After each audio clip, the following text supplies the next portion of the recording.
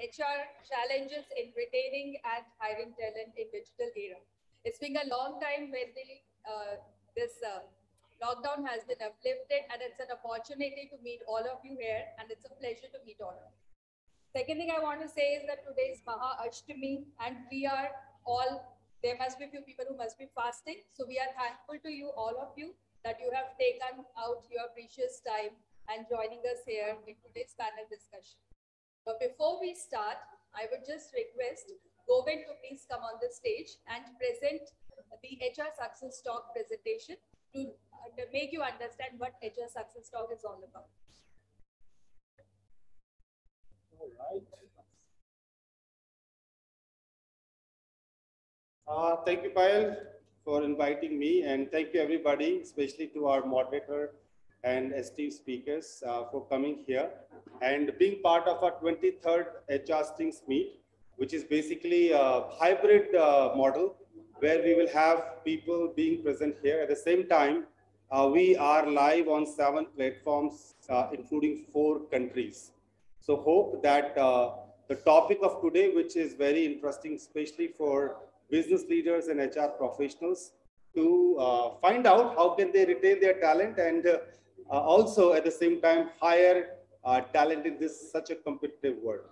Um, I have been given responsibility by Payal to uh, take you guys through uh, about HR Success Talk and what this platform is all about. So I'll uh, go and take four to five minutes to take you guys through that. HR Success Talk is a community of 150,000 HR and business leaders across the world. As you can see, we have four flags down, which means that we are present right now having chapters in India, UAE, Ghana and Saudi Arabia, and we are continuously spreading our wings to other part of the uh, of the world. Moving on, uh, we are a community which is a network of HR by HR for HR, and our vision is to uh, share knowledge with each other um, by bringing HR and business leader together. Uh, we have these are the four uh, country heads we have uh, in different countries, and as you can see, that it's a great great example of woman power as we have three of our uh, country leads and heads uh, women in that, and they are doing fabulous job. Uh, moving on, why we exist, as, as I said, it's a global, platform uh, which brings HR and business leader together. And our primary objective is basically to discuss business related problems connected with talent and try to solve them and provide best practices back to industry and HR audience. Um, if you are a part of HR Success Talk in any ways, there are three immediate benefits which you get. Uh, share and learn, be a mentor or find mentee. Um, also, you can mentor somebody else. You can get, you can find mentors. Networking, I don't have to say that how important and impactful networking could be. You can use it for your learning. You can use it for your to find new jobs. You can uh, use it to find business opportunity. Anything you want to do.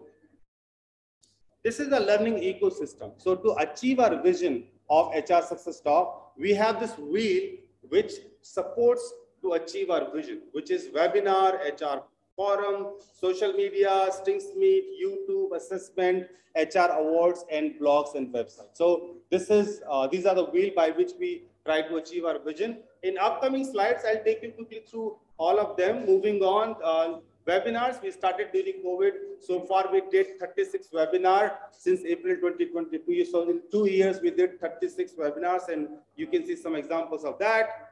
Uh, moving on um, we have uh, our upcoming uh, webinar coming on uh, coming on moving forward with mentoring. We are doing this webinar in collaboration with mentor city which is a singapore based uh, mentoring tool and uh, portal, very, very popular. They have come into our platform to talk about how mentoring can help organizations to build a learning ecosystem. So stay tuned, 7th May. This is our HR forum with 20,000 registered member. If you have any questions on HR, you need format, you need any kind of policy, you have a legal questions, labor question, any question, go to our forum. You can just ask questions and there are 20,000 HR professionals willing to answer your question or you can answer their queries. Moving on, this is the presence of our Uh, social media, you can see forum, WhatsApp, Facebook, website, moving on to the next one, YouTube, Instagram, LinkedIn, Twitter. These are the numbers. And if you total all, you get 150,000 members across the globe. Uh, this is the glimpse of our HR Strings meet. You guys here personally who are present, you are part of our HR Strings meet. This is 23rd. People who are watching us globally, you can see the glimpse of some of the pictures of the Strings meets we have recently conducted. Um, and previous ones where this is more like pre-COVID uh, pictures you see on the screen. We used to have a lot of fun activities as well. This is our YouTube channel. In our YouTube channel, you get an opportunity to watch playlists. And playlists are like uh, complimentary or, or free of course courses available out there, which people can go through. And these are some of the playlists which you can see on your screen. And uh, we also have assessment and certification, which is very simple that if you want to get certified by giving simply an assessment in any field of HR, you can do so. As you can see, we have so far done 20 online assessments and certified hundreds of HR professionals. Uh, this, these are the two one. The first one is learning and development. And uh, this is an assessment. Anybody online, offline who wants to participate can register. And on 14th of April, you will be given a one day time to finish your online assessment. And if you score 50% more, you get an assessment or you get a certification from HR Success Talk. After that, we will be launching the HR Analytic uh, assessment or certification, which have, we will have an online assessment on May 12th. Uh, going forward, uh, we also have a certification coming up on safety and well-being and happiness. We are doing it with the young minds. The registrations are open for it. If you are willing, you will have links on your chat box and you can go and register through that. HR awards. Uh, let me spend some time here because uh, so far we have done five awards and we are in the sixth awards right now. Interesting news, HR Success Talk has already launched its sixth award, which is called the Global Excellence Award 2022. FYI, we do it twice in a year. Good news, which people normally ask us, we do not ask any nomination fees by anybody who is nominating for this award. Better news that it is a global one. If I give you a last time figure, out of 50 awards we have given, um, we had uh, awardees from, of course, all the countries. We have UAE, Ghana, and Saudi and India, but we had people from Philippines, UK, US who have been given awards. Uh, we have launched 10 categories. If you're interested, you can go back to our, go to the next slide, please. You might see that, uh, that one. 15th April is the last date for that to, uh, to participate. And uh, there are 10 categories, 30 winners. So far, we already have crossed 50 nominees, which are coming up. And we always have a track record of finding more nominations at the end date. So hurry up if you want to uh, nominate yourself for any category. For that, you can go to our website and you can also go to our Facebook page. You will have ample information out there. All right. Um, Edge Talk is basically a fire chat, a talk show, which is being led by a Karnataka state chapter. And the recent one, which is coming up today itself at 6, 6 p.m., will be live on our social media channels. It is on shaping the organization culture post-pandemic. And thank you, Arvind, if you are online for moderating this session. Uh, these are some of our media coverages. Uh, go ahead. Um, and then our blog and website, uh, you can find a lot of interesting blogs. If you are interested in writing something for our website, something unique, nothing which you wanted to do, we are not interested much in the duplicate content, but if you want to write something unique, you can, you can reach out to our blogs team. Uh, simply by going to our Facebook and you send a message, our team will reach out to you and we will publish your blog and make it public for others to uh, digest and take benefit out of. This is myself. I'm, I founded this uh, community 10 years back. And uh, as you can see, we have grown to uh, 100,000 supported by our advisor, Mr. Gupta and Mr. Himanshu. Both are here from our advising team. Uh, who always support me how to go. Uh, this is our team. Again, 64% of our volunteers are women. Another another uh, way of saying that we believe a lot in women empowerment and the quality they bring on the table. Right? That's the that's the best and most important thing. Uh, although we are a community, but we work very similar like a global organization.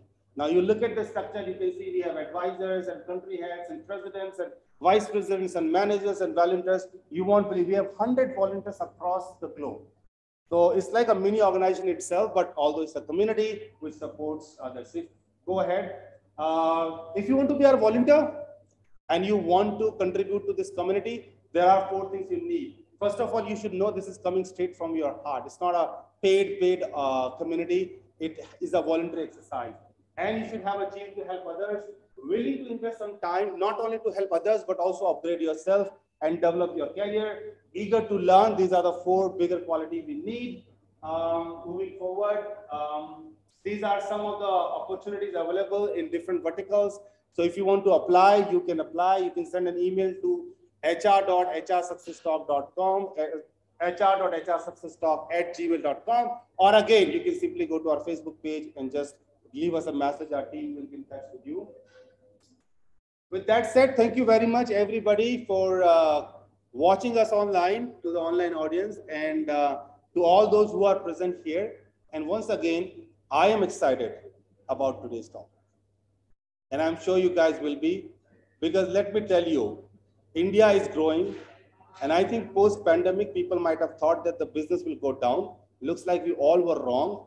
The business is going skyrocket. This is a good problem to have that now we are not able to find people. It's a good problem to have that the organization have to put a lot of efforts to retain their people. So thank you again to our moderator and speakers for being here and coming with such an experience uh, and sharing with all of us. And with that said, I think we need to move forward with this event. So I'll call Payal back to the stage and take it forward uh, to the event. Thank you, Payal.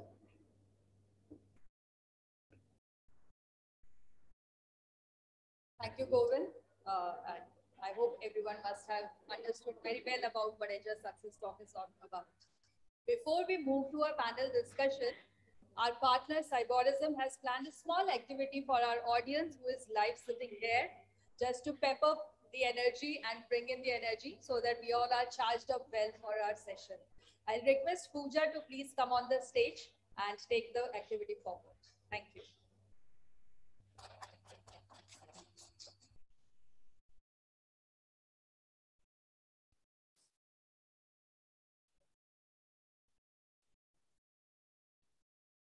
Everybody, I am Pooja Gupta from Cyberoism. and today I have a small and very interesting quiz activity for you all. And before I announce this activity, let's talk about the reward. What is the reward? Because without that, I won't find the, you know, that zeal in the audience to answer me up. So uh, there is an open training of Advanced Excel from Cyberoism this coming Saturday. Know what is the date on this coming Saturday? 16th. All right. So on 16th and 17th, we have an open training uh, of Advanced Excel, which has a cost. But if any one of you who can answer me almost three to four questions out of five questions will receive this training 100% discounted and redeemed. So I hope all of you are ready. Okay, let's start with the first question. So, first question is, who is the Prime Minister of Sri Lanka?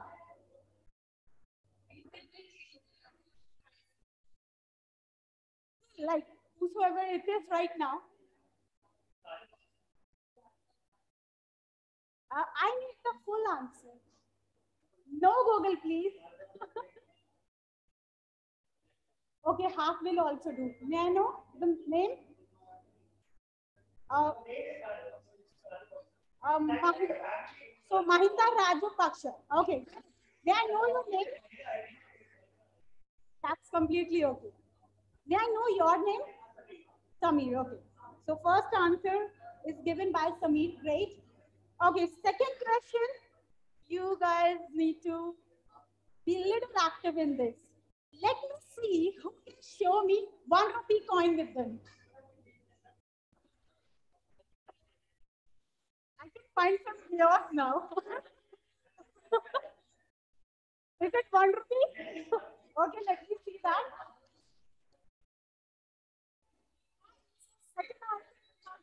Answer, Samir looks like he's very excited to take advanced Excel training. Great. Okay. So my third question, which is very, very difficult. But you guys, I guess you can answer it. Who is the founder of HR Success Talk and in which year it was founded?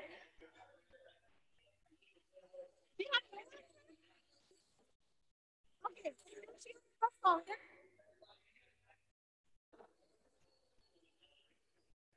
Okay, great. Third answer is also great. I would request others also to answer me.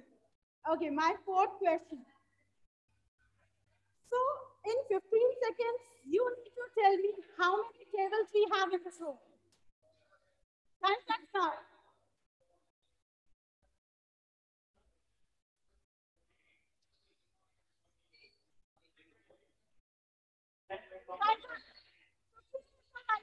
Very good. Very great. So we are including this also as a table, this also as a table. Then it comes to 50. Right. Okay, our last question, which is the most difficult question of this world. Any guesses what it can be? I would like to know the price of the petrol today. Obviously. Very good, sir. 105, 106, going like that. So, yeah, thank you for participating in this quiz. And there is a voucher which I'll be sharing with Mr. Samir shortly. Thank you. Thank you, everybody.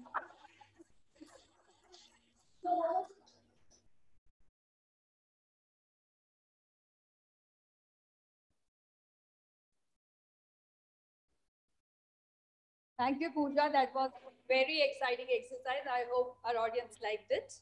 Now, coming back to our uh, topic, uh, today's panel discussion is all about the challenges that the HR is facing in the professional life and in this digital era. So, the process of hiring is often a long and complex journey. Modern technologies can help the companies talk about some aspects, but they don't take care of the complete uh, well-being of the uh, employee, for example, in identifying talent, attracting talent, or some other tools that engage the talent aspect. So here we have brought this session for all of you today so that we get some answers to our questions through our eminent panelists who have brought you in today for this session.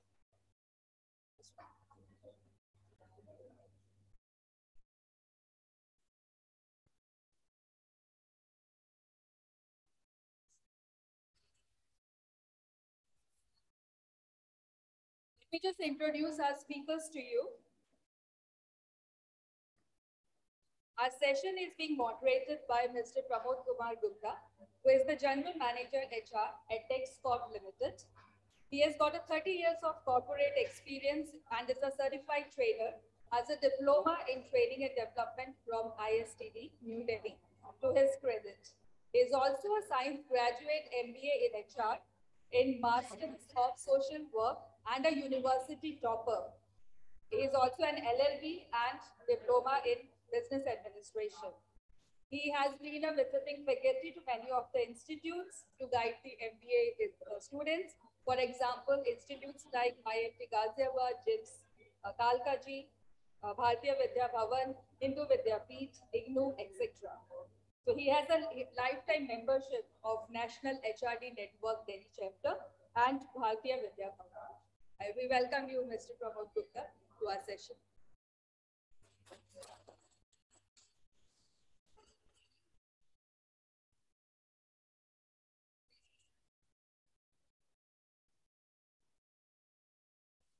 Next, we have Ms. Jayati Roy as our eminent speaker for the session today. She is Director of Human Resources at Barco. Jayati is experienced human resource and change management specialist with over 20 years of experience across highly complex business and activities. She is also very passionate about CSR and sustaining initiatives in the organizations and actively participates in this space. Prior to joining Barco, Jayati was the group head HRD and at NDTV, where she owns the people agenda for NDTV and has done many initiatives there. We welcome you, Jayati, to our session.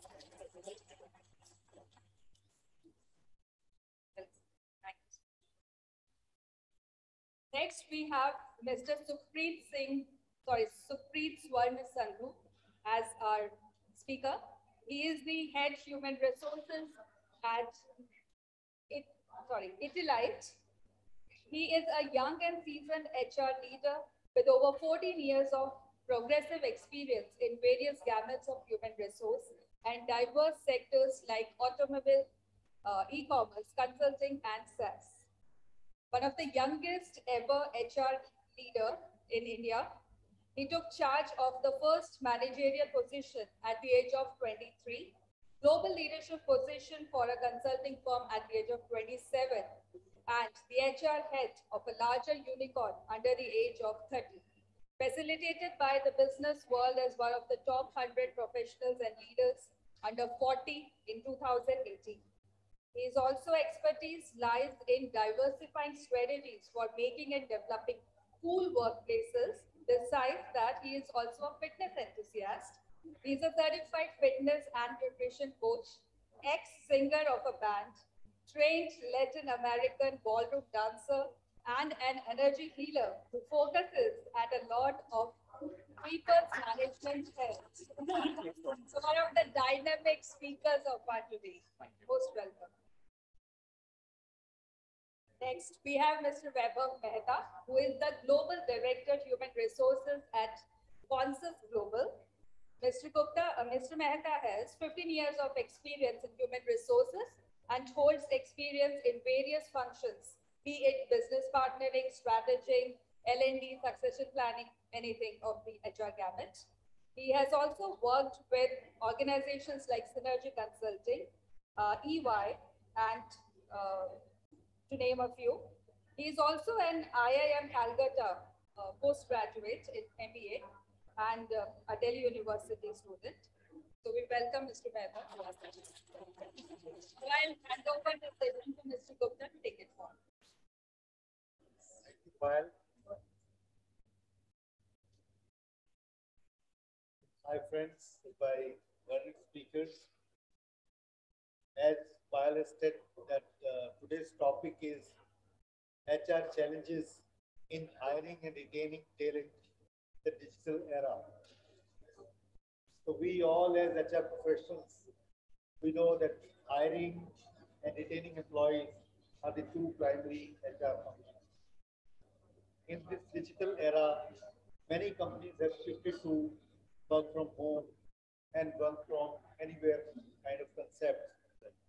And some of the companies are in the hybrid mode where around 25% of the employees are working from office and around 75% of the employees are working from home. So in such a scenario, the deliverables become very important it is not the time spent on the job, but we actually deliver, what the employees actually deliver becomes all the more important. And in the post-pandemic era, uh, the health and wellness of employees has assumed a lot of significance. And uh, many times we don't get the required skills of the employees. So multi-skilling is another area which has become important managing teams and time, both are important. Because when the employees are working from their homes, time management becomes a difficult task. And how the persons are able to take uh, uh, job, uh, complete functions in time, that becomes a challenge. Uh, in a way, COVID has also been a blessing in disguise because it has made us think out of the box. In this digital era, we can recruit from the entire world. It's not only the Indian scenario, we can recruit from anywhere. Campus hiring has reduced a little bit. Creation of internal talent pool is also advisable to meet the talent requirements.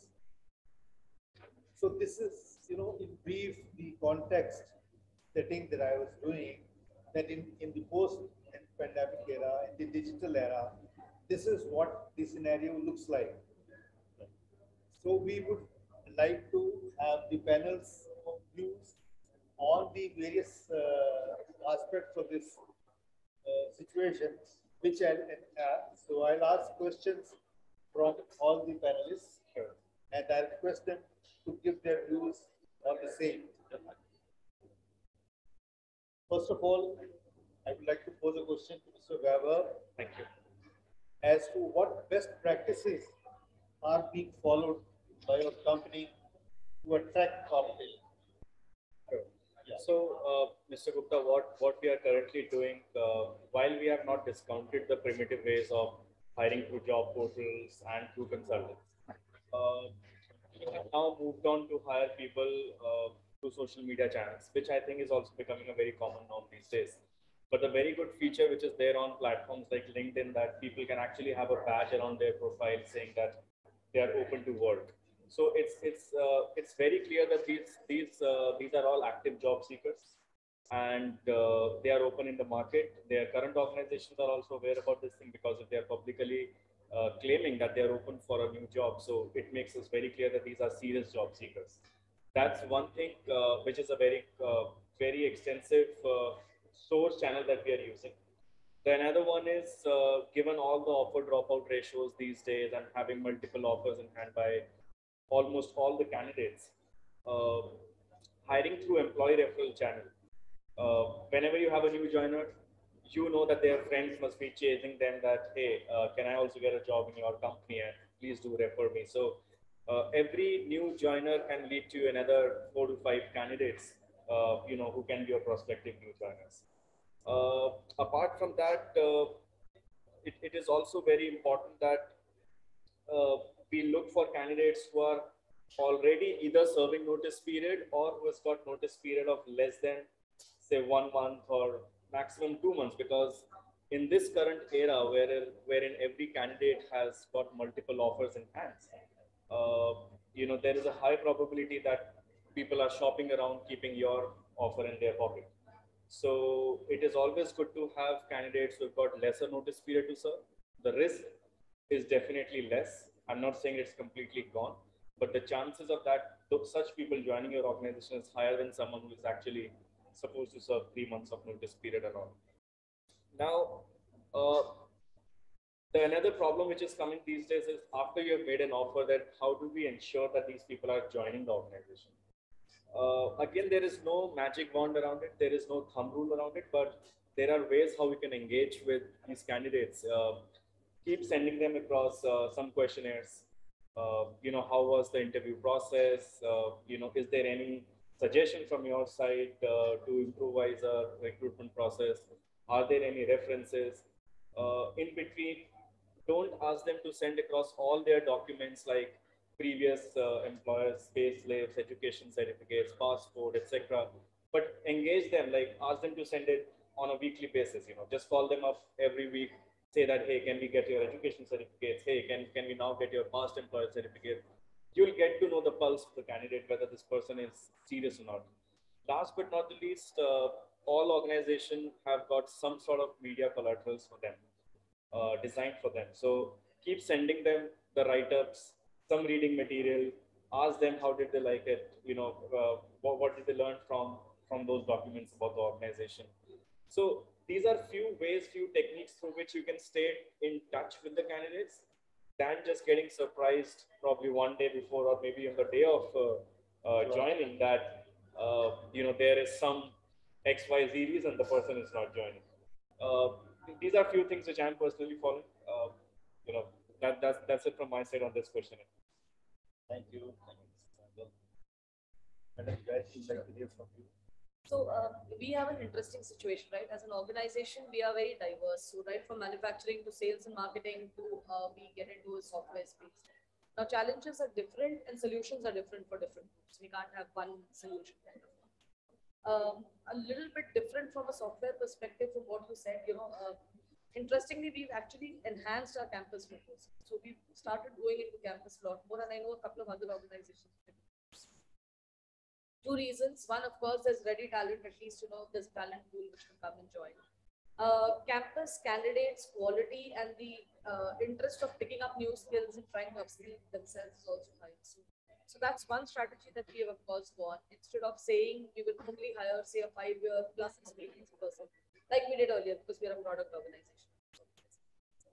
So that's one thing from a hiring standpoint. Now, if I look at it uh, from a three-dimensional thing, how do you attract talent? So a lot more activity around branding. Because uh, earlier you would still have, you know, recruitment partners who would share across resumes and the positions would get filled or your website would do. But if you look at ca- categories like your sales and marketing professionals, for example, they need to know who you are, why you're there, what you're doing, why should they join. So uh, what we wouldn't have done as a work on employer branding and uh, sharing your EVPs, that's something that we are increasingly following so that people know who you are, people understand what you do, and then they are willing to come across. Uh, that's on the attracting. Um, the interview process has been shortened, uh, of course, because the shelf life, if I can call it like a product, you know, uh, of candidates is very low. Uh, if if you keep a candidate hanging for about three weeks, the person is gone. So within getting the person's resume to ensuring there is a closure, it's about a week that we try and stick to, unless of course there are exigencies. So keeping the interview process uh, crisper and shorter, I think that's another um, great way of generating candidate experience. So there's a lot of focus on uh, candidate experience and employee experience that comes. Uh, also, like we have a, lot of stress on employee referral because uh, two things, right? Like, you know how engaged your existing folks are, and of course, you're sure at least this guy's going to join because uh, the story is common. You don't have people joining at the last one, so so you want to enhance that. Therefore, using that channel and leveraging it to the max that we can. Uh, and of course, a lot of post-offer engagement activities. Um, to the extent, uh, you know, trying and doing a lot of those hiring manager calls, and in, uh, for us doing individual calls is resources as well. Because that's when you start getting the feelers. If the person is not picking up your call two to three times, you know there's something wrong, and you start looking at a backup instead of waiting like a sick, sitting duck and okay, now the person is not turned up. So I guess a lot of telltale signs uh, that we get through the post uh, offer engagement uh, does show up. And of course, that's also another way of creating a better employee experience because they start saying, okay, you're engaged, you know what you're doing. So those are uh, a few activities that we do in the entire campaign. Thank you, Jyoti. Now I would like to.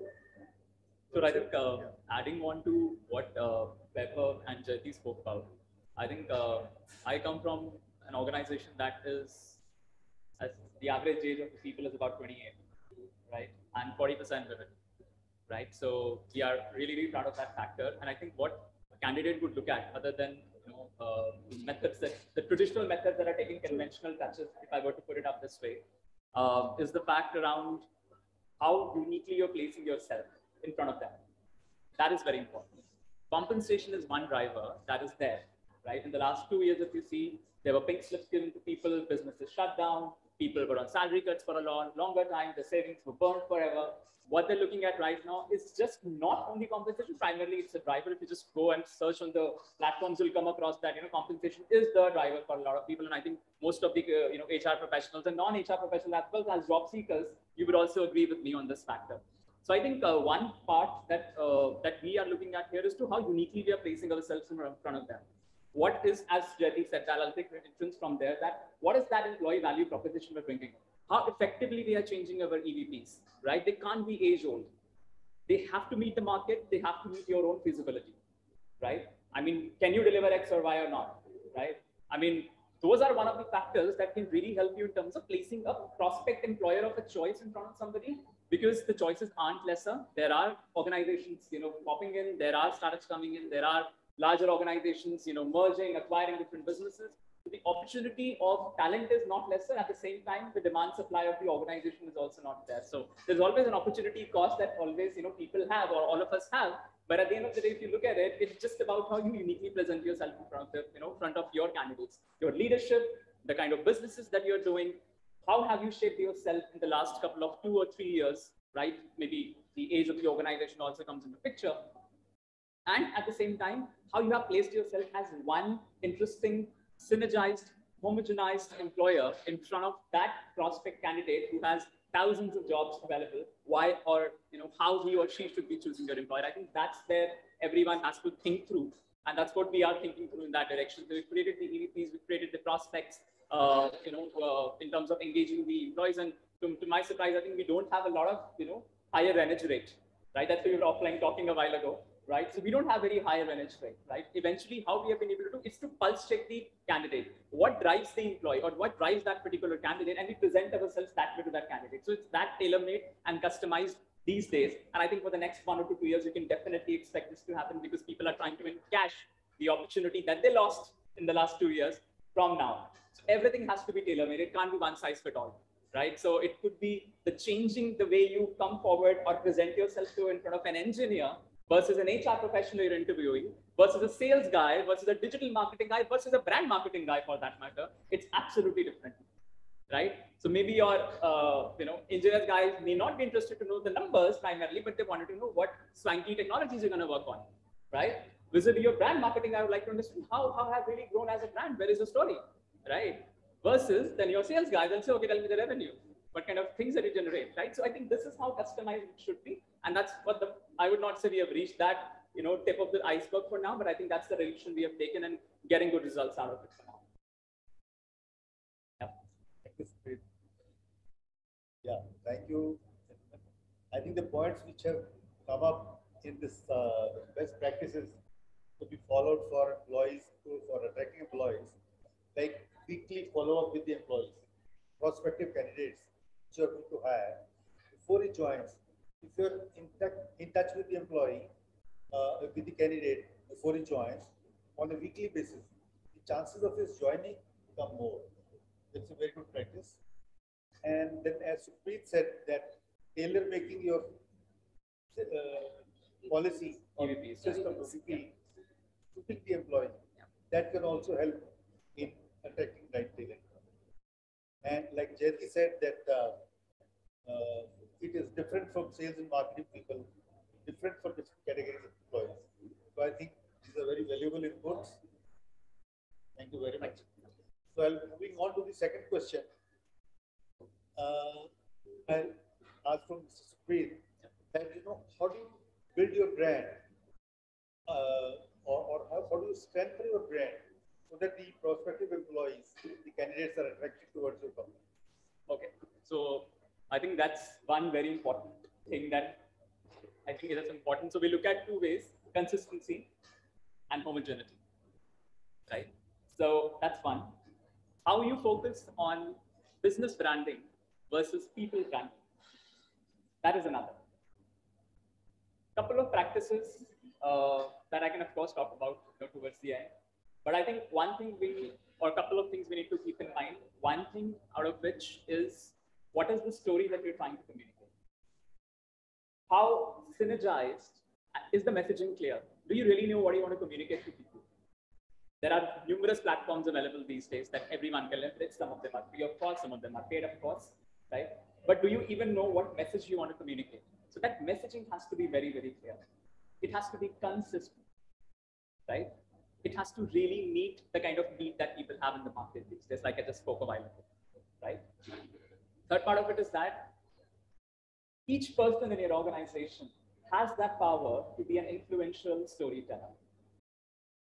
You just don't need a lot of brand ambassadors per se, right? Most of the firms that we are a part of, we don't really have those celebrity brand ambassadors, ambassadors, let's say. But that doesn't mean people don't join us.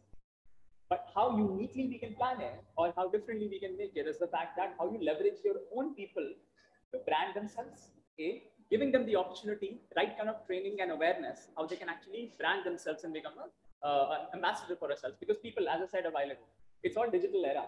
Yeah, people search everything online for anything and everything. I'm sorry to say that for even finding a partner for yourself, you go online these days. That kind of comparison you do. It's about a job, right? So it's even more. The risk is even higher. I'm not saying the risk over there is not higher. It's there, right? But the risk is equally higher if I were to put it up this way. So I think that one part is very important, how you leverage your own individuals, your own teams, your own people, your own leadership to give away that message. One such practice that uh, you know I launched in the organization is what we do. We try and cover one employee or one citizen is what we call not employees in the system on social media platform. We ask them some quirky questions to them, put it up on social media, let people comment, let people like. So it's a, it's nothing but that dopamine level effect that you get somebody's appreciating you these days. Because that's another problem people say that in the hybrid world, I don't get appreciated. I don't have a face FaceTime, so I don't even know people that you're looking good today or eating well. Okay, fine. You've done this, you've done that. So people don't have that kind of appreciation factor coming into picture. So we've got that factor. If you can put up, put up your, you know, open up LinkedIn right now, search it hashtag IT stars, ITI star, you know, S-T-A-R-S. You'll come across so many posts done by my team.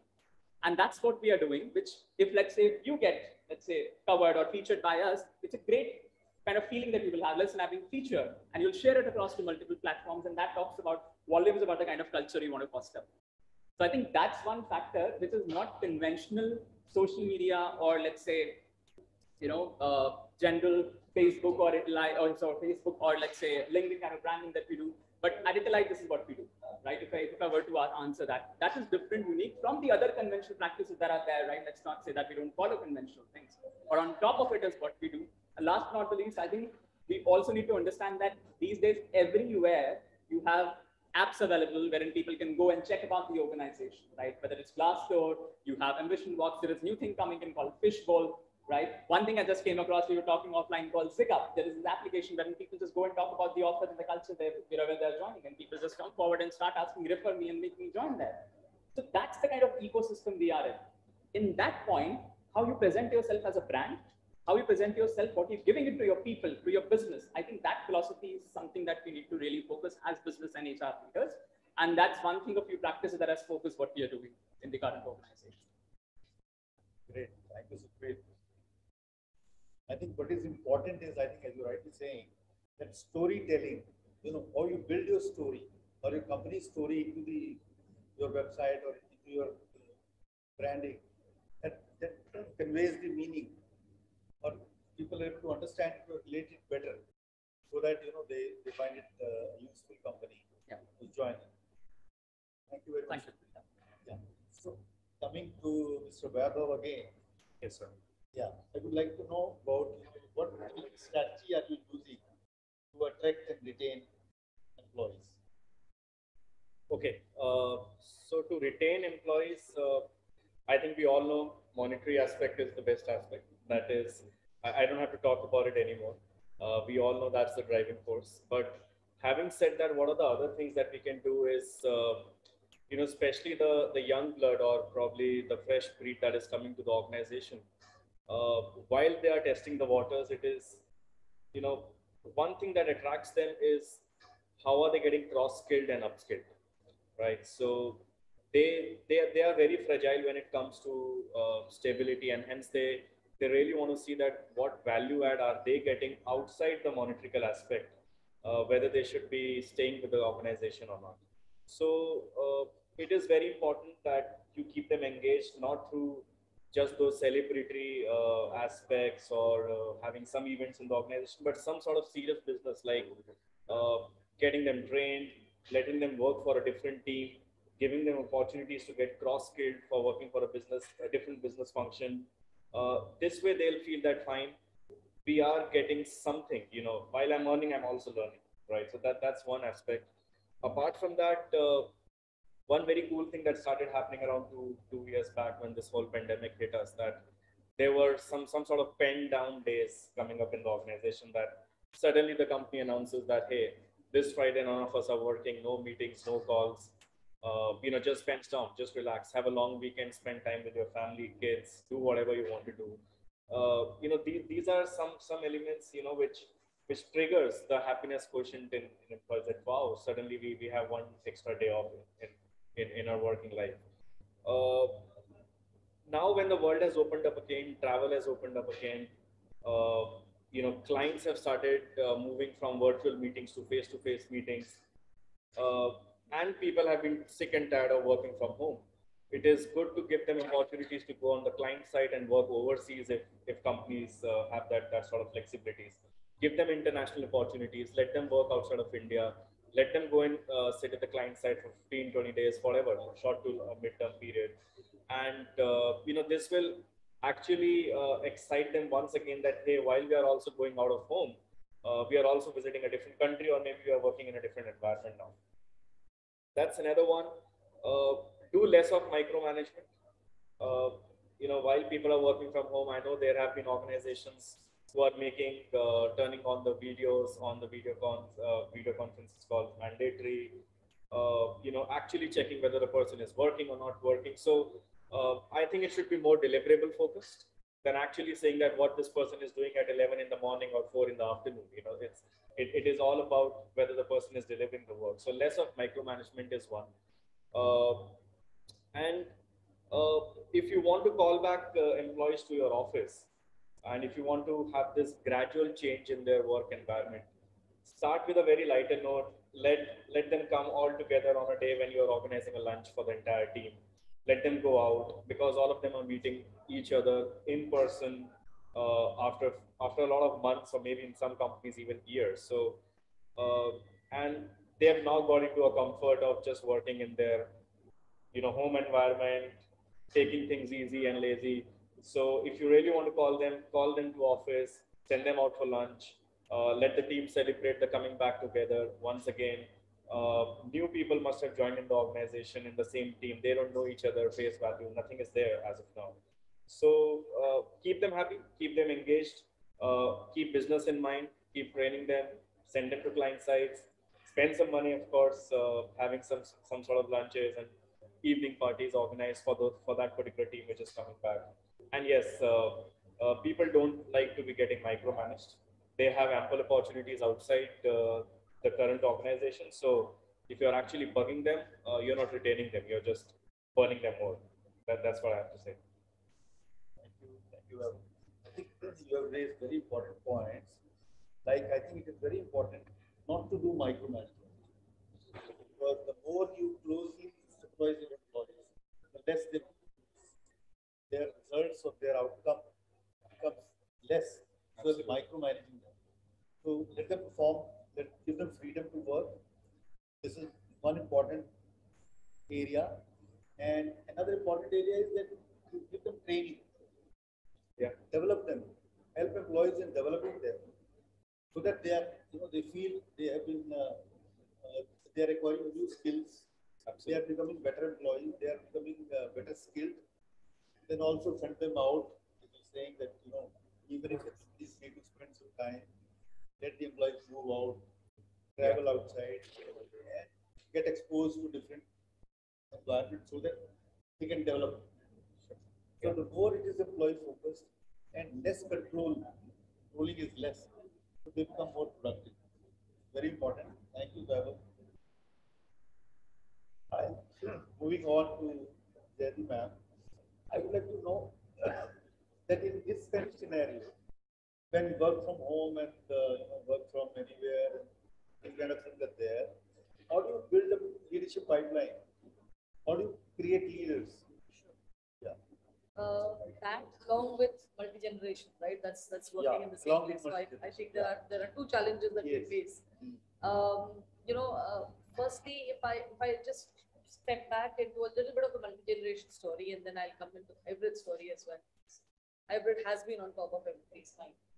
So, uh, if, I'm, I'm just quoting from my home and I'm sure that's the same situation in a lot of our houses. So I have my mother with us who is uh, a different generation. And if you look at workplaces, we have five generations, four generations at least in a lot of workplaces. Yours doesn't, but in a lot of places.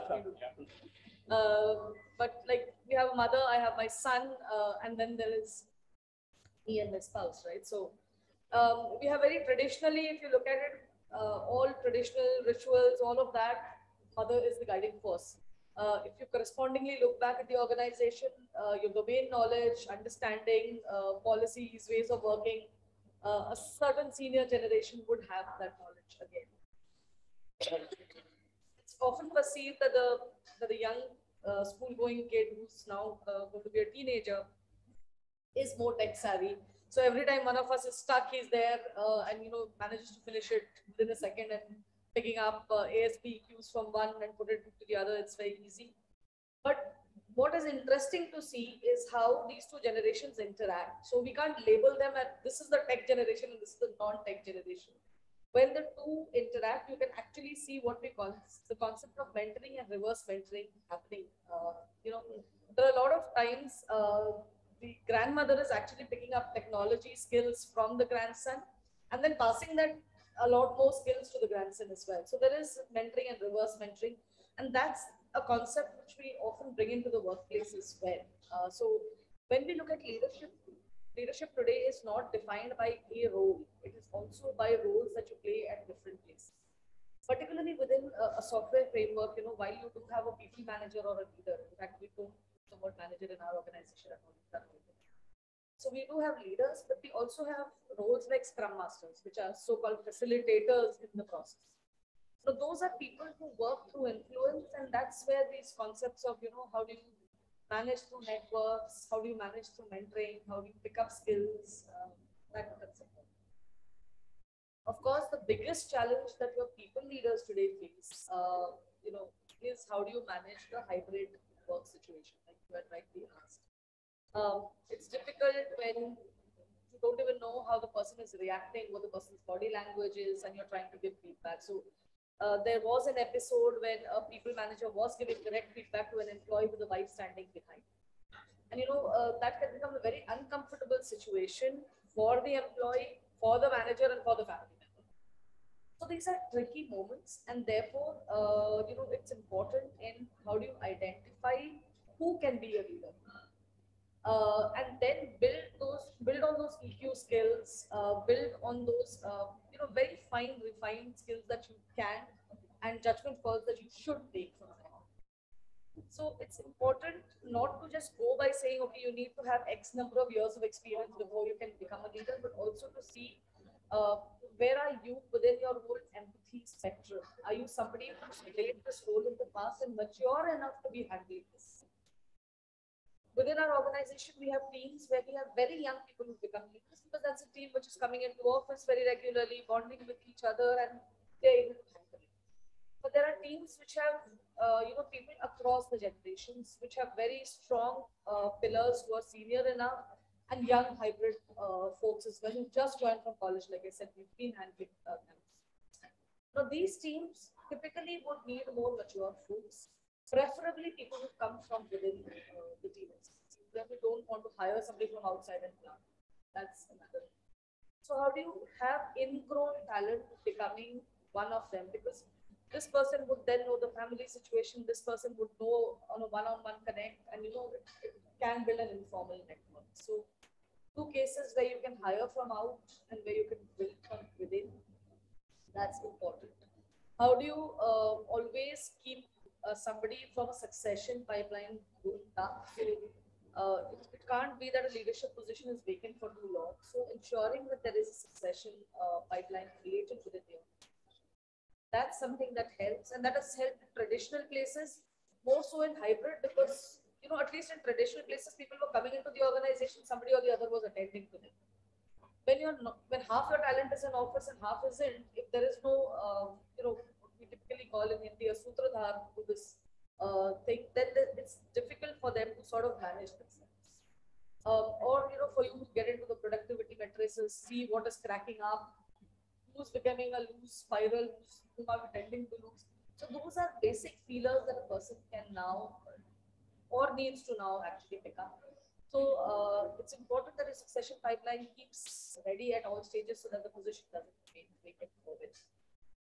So I think those are a couple of things that we've focused on very consciously in terms of how do you build a, leadership pipeline, where do you buy a leadership pipeline, which skills can you really hire from outside.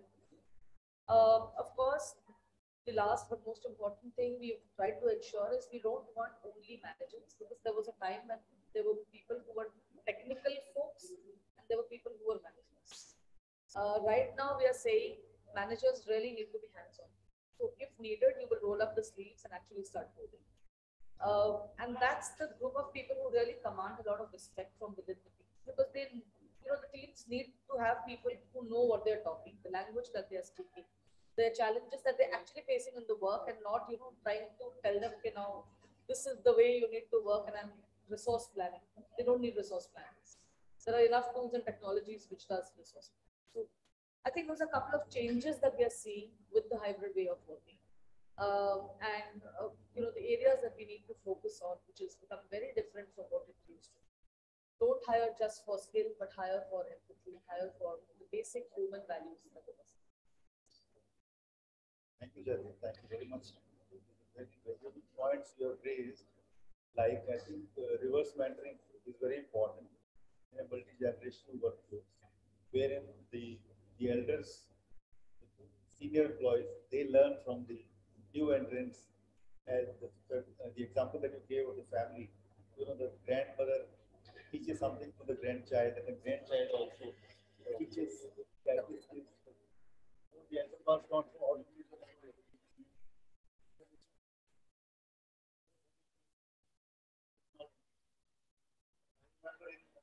my companies my boss tell me, "Ask me what is the definition of a leader?"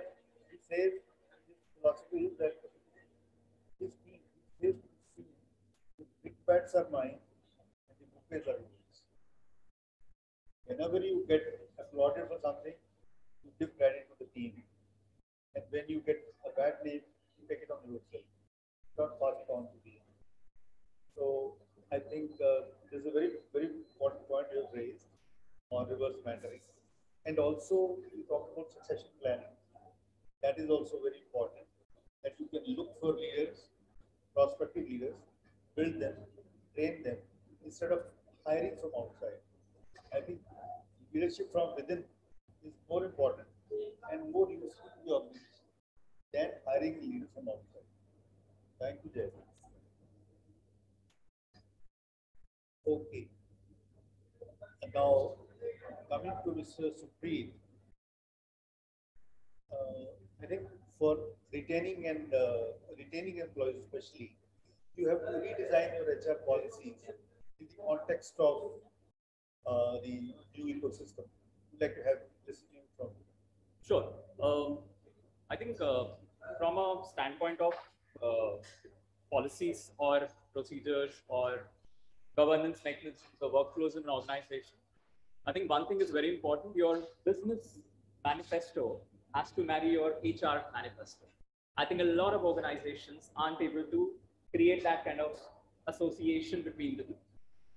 I mean, you can't have your majority of the focus, and typically I'm talking about the you know top layer of the organization, which is only only business focus, right? If you work, if you create a business manifestos in silos, your people manifesto will be haywire forever, right?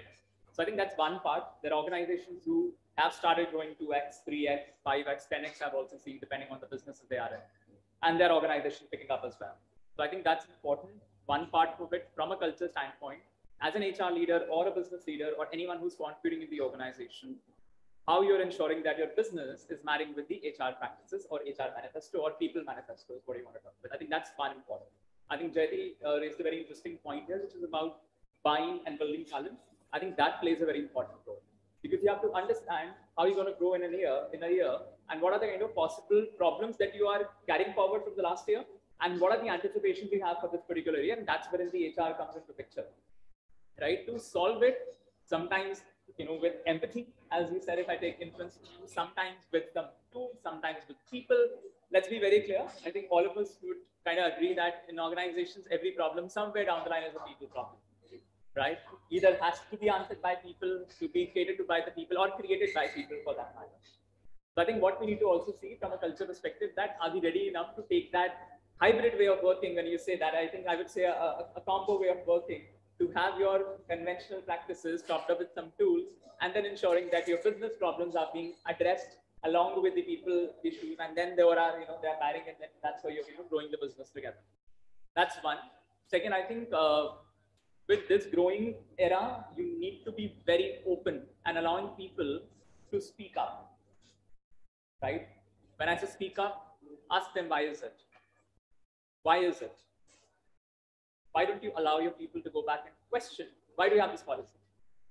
Why don't you go into this business? How many organizations do we see allowing people to do so? We did it in the past, and we even uh, you know got silliest of the response, and I will not judge at all. Somebody said that I have this you know this this irritating orange wall in front of me. Why do we have orange wall in front of us? Why do we have a yellow wall in front of us? From that simplest of the question to a larger thing, why don't we venture into this business? Why don't we have this policy in this? And I think taking inference from this point is my third point, which is making your organization, whilst you need outputs, but have you ever questioned or introspected that you really have right inputs?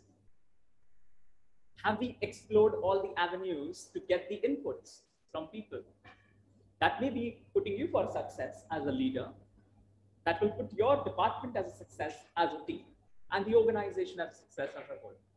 So I think whilst it is important to chase targets, which are the outputs, but important for you to question, do we really have the right inputs taken from everywhere or not? Fourth point here I would like to make, uh, which is around, I think, ensuring you have open channels of communication, right? Uh, I mean, there are numerous HR policies. Those are governances. Some of them are perks. Some of them are benefits. I think most of the firms are doing that. I think what comes into my mind right now is to also focus on how you create that communication loop and close that loop. How often your leaders go and just have a 15 minute interaction just to check on the people as to how they are doing. What are their personal wins? Have you been able to reach that level of that's what your talent needs, irrespective of the age, you know, generation, role, location. These are all these things agnostic. Right? And last but not least, what I feel here, I think we have to strike a balance between natural intelligence whilst we run after artificial intelligence always. Right? Um, I'm sure most of you would agree with me is the fact that people now create their CVs to match that chatbot or, uh, or, or, an automated screening mechanism available to at least get their CV through. Right? Pulse will be the hit rates are increasing and everything, but you really need an artificial, I mean, of course you need an artificial intelligence to take it up, but you really need a human mind and eyes to really sail through what is behind, I would say, what's the why of the what, I mean, or how of the what. I mentioned what, but do I really know? So I think we need to strike that, you know, uh, balance, not to make it too chatbot driven, because anyway that is super transactional. But where is the human touch? Where are the HR business partners? Where are we? What are the role they are playing in terms of ensuring that there is a strong communication too, or communication gap being, you know, closed? People are into instant gratifications these days, yeah, right? 30 minutes my pizza and then two minutes I have a doctor in front of me catering to me. I don't have to run after the hospital or the restaurants. That's the need of people. So if you cater to it, your culture automatically comes into picture. And believe me, there are companies, there are organizations where you have culture within cultures. And those are the biggest toxins. I'm sorry for the lack of a better word I'm using here, but those that's the biggest toxin. And policies, practices, there are numerous banks available, right? Where you can go, you know, just he spoke about that, you know, he has, you know, HR success you know, themselves has so much of thing. You post something, you get so many responses. But you have to also see that does that really marry my culture? So if I've answered these, these are hygienes. You will say these are very basic. So these are hygienes. Increasing and growing further as we proceed to a uh, you know to a different generations working together from different locations with different roles and has an appetite to ensure that or a question perhaps that am I able to succeed in my role in the organization? That was great, valuable points. Most important that I found uh, was that communication part. In any organization, if the communication is happening well and in the right manner, if you are able to say the right thing at the right time to the right person, most of your problems are solved. Communication is very important. Then another important that you, uh, point you raised was that the HR and business have to be aligned with each other. Because HR is for business. If the business is not growing and HR is growing, there's no meaning. Absolutely. So HR and business have to be aligned. And and questioning is very important. It's very important that if we if we don't question, and then if you don't question, you don't grow. I think there's something that you know just struck my mind when you just you said this. Um, this is something which you are not taught ever. Just to go back to your houses, if somebody comes and questions, why are you asking me this? We don't allow people. It's a skill that should come from the house. That's I think a socialization that comes from the house, right? And that's when people aren't comfortable opening their mouth and asking someone because they'll say, I don't know, I'll be judged, I'll be asked questions, or I may be, you know, have people will have different perceptions about me. So I think that's something which also comes into mind. Yeah. don't like questions, we don't ask questions, and we don't like people to ask questions. Ask questions. But then this basic philosophy has to change. Yeah. Which is going to help the organization as well as the society. Both ways. Okay. So moving on to now retention strat- strategies and techniques. I would like to start with Jayati madam. Talk about what retention techniques and policies you're using in your organization. So honestly, we, are also no, uh, we are also getting into this baptism by fire, right? So every time we try something and then we see if it works or doesn't work.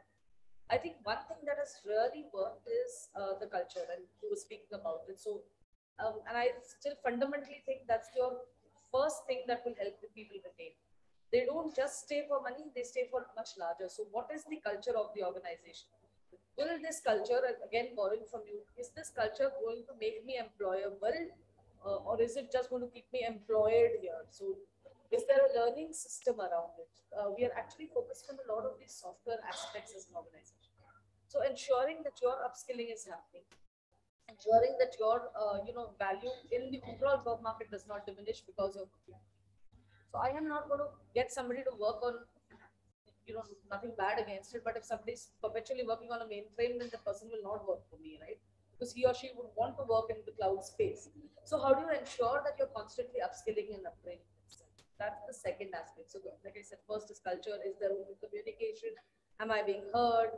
Um, the third thing is the experience that we a lot of people got during the COVID days. That was the testing of waters because uh, if the organization has not really lived up to its culture statements or value statements or whatever you might want to call it, and has um, you know sort of behave differently during COVID, there has been an apprehension in the minds of people. Is this the best place that I want to stick around? And that's where you know, uh, be it the GPTW survey, which talks about the trust index or anything else. So those start showing up, and that of course then translates into attrition. So how do you ensure that you walk the talk in a lot of these uh, things that you do about employee well-being, healthcare, uh, smaller benefits but larger impact now. Uh, things around parent insurance, individual insurance. These were not very important, but today when somebody comes and joins us, these are factors that are start playing up in the of even when they're looking at offers this day. Of course, these and then there are monetary and non-monetary pieces that you want to try and do and look at. Uh, you know, when you take care of compensation, who are the critical skills, which is the high potential, whom would you want to reward more than the other? So, how do you con- constantly and continuously differentiate performance? So that's another thing that we uh, are, of course, as an organization also as an industry. Uh, we don't do as much, but of course, a lot of companies are increasingly focusing on retention uh, bonuses and stock options. So those are again very strong retention tools that are being used across uh, from trying to book ring fence and keeping them. And the bonuses are very interesting, right? So I pay you something and then that has a clawback period of a year, and then I pay you something and that has a clawback period of a year. So, so you're almost stuck for about a period of a year or two.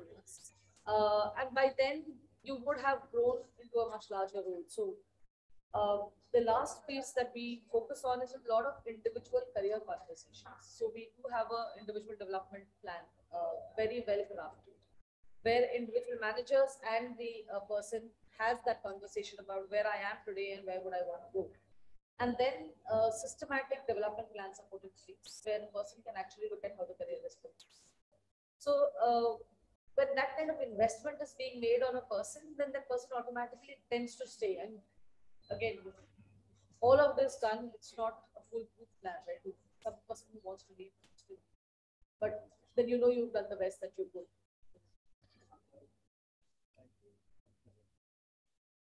Sir, okay.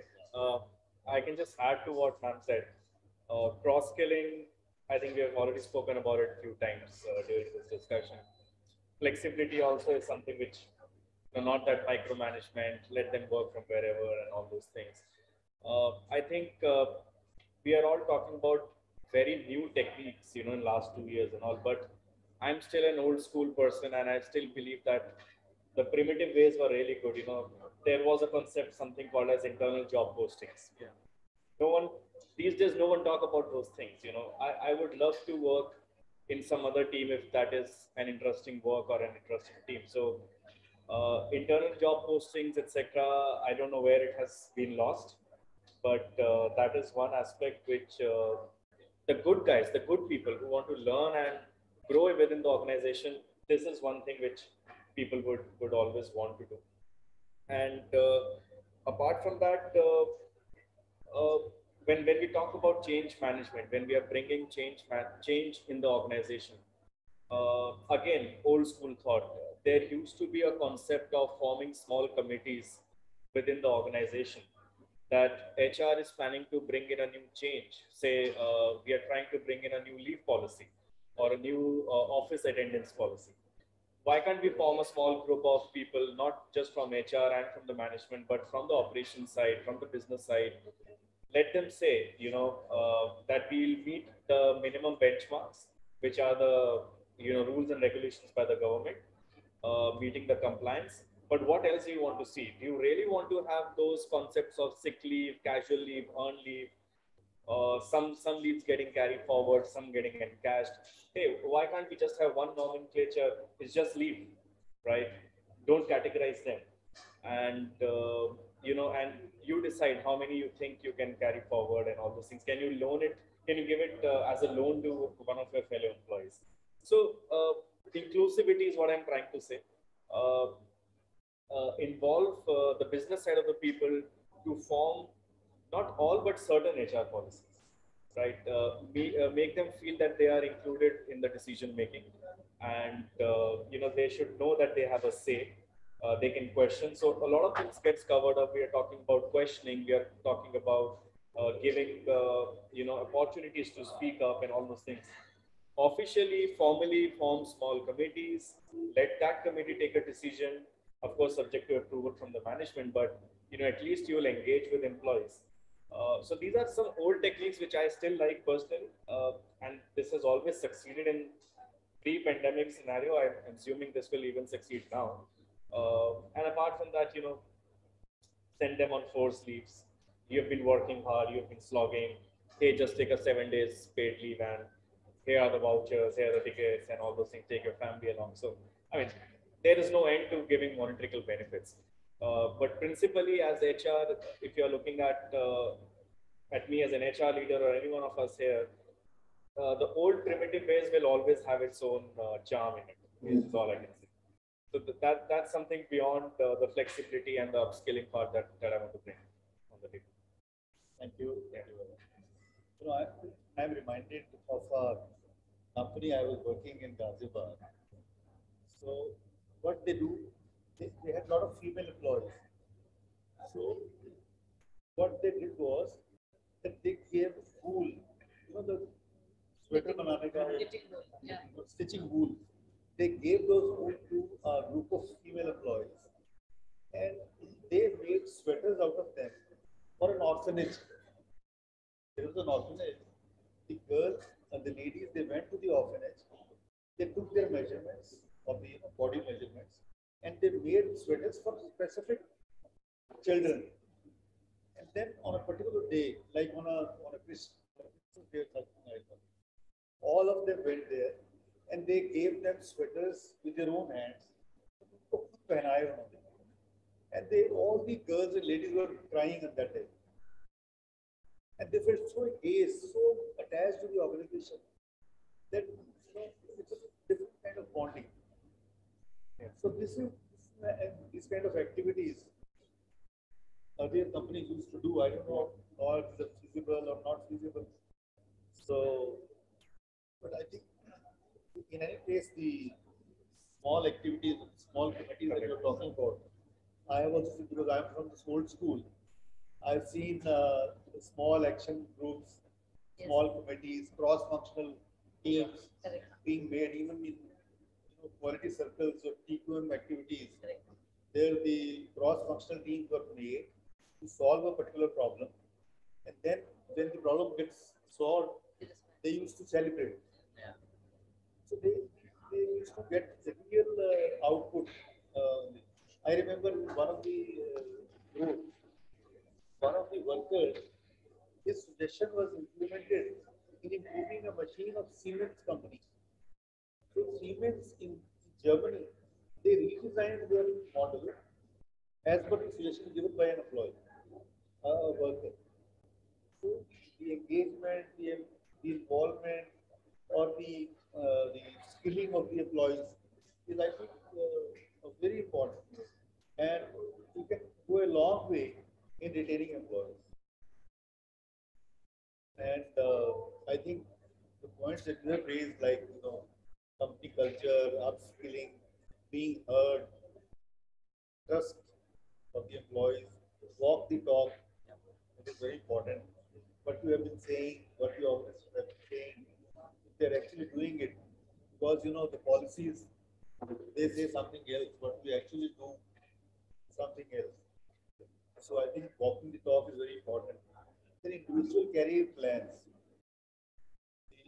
Work on individual employees and see that the employee grows from he goes from there to there. So anybody who is taken care of the, uh, by the employer will continue to stick to the And you know, in HR, in one of the conferences, uh, somebody was saying that HR का जो function होता है कि तीर भी चलाने और परिंदे भी बचाने So this is a, it's a popular function of uh, HR. Many times, you know, we are supposed to terminate and dismiss. So those kind of reactions are to be taken. So हम लोगों ने तीर भी चलाने होते हैं और परिंदे भी बचाने होते हैं. That is a very critical function. Uh, this is uh, something to do with retention in the sense that you know, sometimes we have to get rid of certain employees which, for various reasons. So that that becomes a, a bad retention. Yes. Okay, now coming to Mrs. Preet, yeah, please. Okay. Um, I think traditionally speaking, uh, I think one part of what uh, said, right, and a larger part of uh, what Jayati said. I think topping it up with it, what is important for all of us to also look at is how your entire total rewards framework looks like, right? I quite framework driven guy, right? Uh, a lot of people don't find the value of such things unless you tell them how it works, right? Otherwise, it just becomes a chapter in the MBA course. Yeah. So I think that way, uh, that ideology wise, right, uh, is what I really focus on. So I think wellness part these days has come up very, very strongly. There are places wherein wellness is is being rewarded, how organizations have transformed themselves when it comes to wellness. I'm being a wellness coach or fitness coach myself. It's very, very close to my own heart. I think uh, we've developed our framework keeping in mind two larger sets of wellnesses, which people have really focused and have not been able to focus in the last couple of years. One is the is, is their financial wellness, right? And second is their emotional wellness. I think these are the two important parts which we really need to focus when you try and talk about how you are trying to retain people in the system. I mean, retention comes with a lot of things, business stability, business growing or not. I think those keeping those uh, parts aside, I think one part of it is there. So, a couple of things that we've done. Uh, we've launched uh, something called uh, a very, very personalized and unique uh, COVID home care support program, uh, which can offer people a caregiver, a dedicated doctor, a team for 10 days. They will disturb you. I mean, I mean, you'll get disturbed. I mean, they'll call you three times a day and ask, "Are you feeling well?" I think that's the simplest thing anyone wants to know during these days. How are you? That's something that people don't ask. There was one one one person came back and said this much of thing, my girlfriend doesn't even call me this much. And the doctor or a caregiver called me, asked me numerous times, "How am I doing?" I think that's what the one success factor that we have had. Second of it, we've also there is an ask. I would say it's a, it's a subconscious ask from a lot of uh, employees. If at all something happens to me, what my organization is going to help me with. Whilst we have insurances and everything at place, on top of it, what we have done is terms of in terms of offering or ensuring that people, and that's a part of our cultural philosophy as well, that to ensure that in the time of unforeseen incident, that we are there to support the family. So we have some plans available for them, right, for the family as well, to ensure that there is a continuity uh, of not only the but also a touch, uh, a larger conscious touch with the organization. Then we've done something around uh, you know, offering a fast track growth plan to people, uh, wherein there are about eight or nine unique job families that people can move uh, across 70 plus unique roles, right? So people know how it would look like. And interestingly, one last piece that we've done is the fact to remove that lens of looking at someone or deliverable or, or the, the ability to deliver or to influence the organization from a perspective of the number of years of experience somebody comes with, right? So I think that's one part we have, you know, we have really removed that whilst experience does matter to an extent, but for certain roles, we've really, really gone ahead and said that, you know, this is not really what we look at, but what is the kind of deliverable, what kind of impact you bring to the table. And we have live examples in the organization where people have taken up such larger roles, right, despite not being, you know, uh, quote unquote experienced traditionally. So I think these are the things and practices that can really help you look at your entire talent landscape from a very different lens altogether because they know, they'll see what they know, right? And they'll know what they see. Yeah. So I think it's up to us what lens we bring to them, what they see it, where do they see it, and how do they see that, yes, it's really, really touching my larger conscious or not. Because at the end of the day, culture, processes, philosophies, whilst they have some governance mechanism traditionally, but something has to touch or really, really make you feel from a larger conscious that, yes, this I am something I can resonate with a lot. Thank you, Sukhdev. I'm from the manufacturing side. I have spent a lot of uh, time of my career in manufacturing companies. So what I found was that uh, you know, whenever there used to be accident in the factory, if an, if an employee is injured and he's not coming to the office or to the machine for say for a week's time, see the, everybody suffers. The organization suffers, the employee suffers, and the productivity also suffers. So wellness, as you rightly pointed out, is something which is directly proportional to the output of the organization.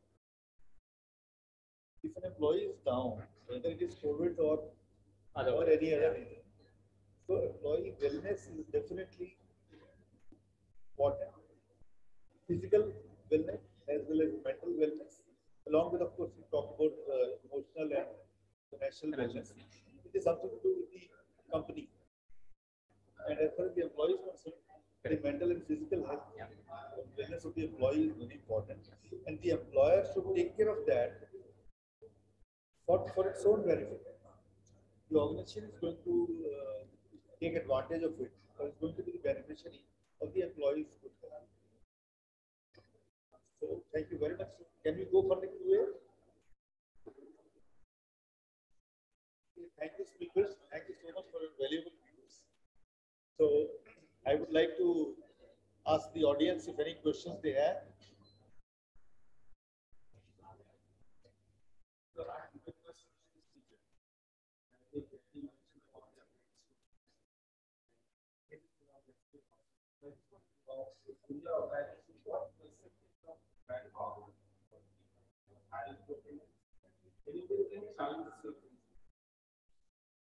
Uh, so when we look at the, the so-called the traditional apprentice program, uh, then that, that is applicable for the factories, we still do that. But that's again very basic level. But if I look at the campus program, which is the other way of looking at apprentice program, we honestly started this about two years back. And uh, about 20% of our hiring numbers are coming through them. 20% of our hiring numbers are coming through them. Honestly, so far it's been an excellent uh, program for us.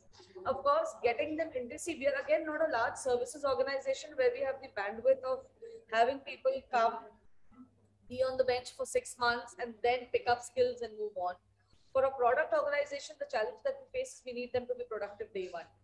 So ensuring how do you upskill them very fast and maintain their productivity level, that's the first thing. The second, of course, all of them want to work in the space of AI. So they start the interview process with AI ML. They come to you talking AI ML, and by the time you tell them, okay, now we have Python, they're still thinking, AI ML ka kya hua? So I think trying to get into that ambition match uh, is sometimes a challenge. But like I said, uh, there's so much of energy in them that if you can sort of channelize them and help them understand uh, it basically needs and blocks time from some of your senior resources. That's one thing for sure. You would need somebody who's constantly guiding them, mentoring them, telling them uh, which way to go. But if you can do that, there's immense amount of energy and there's such a fast learning pace and so much hunger to do new things that it really pays off. Yes, Yes. you are. talked about that you have a maximum population of 28 years of student scholarship organization. And you also talked about personal time. I just want to, I let you out of topic. How do you think that the pressure or the college students can work upon them at that stage? So That the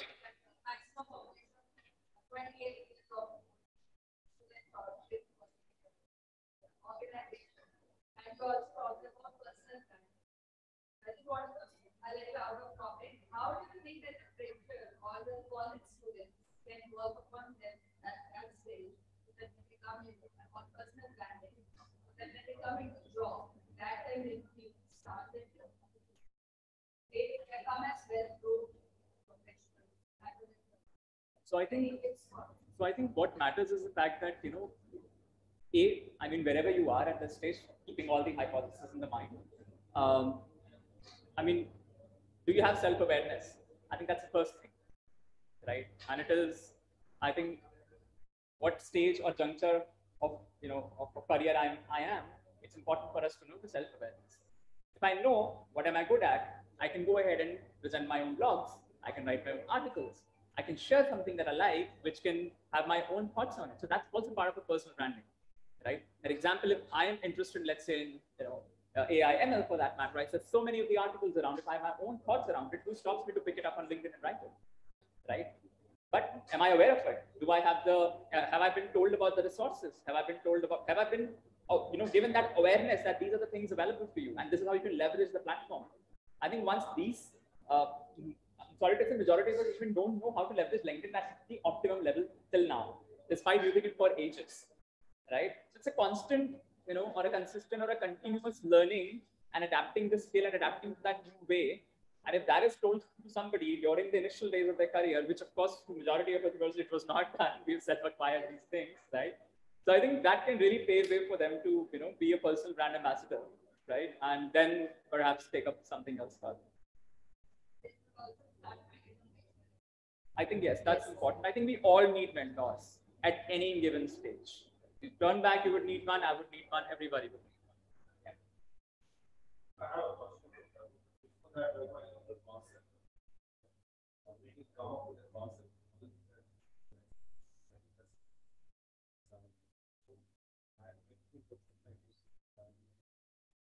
Uh, the question is, how to work from home. A.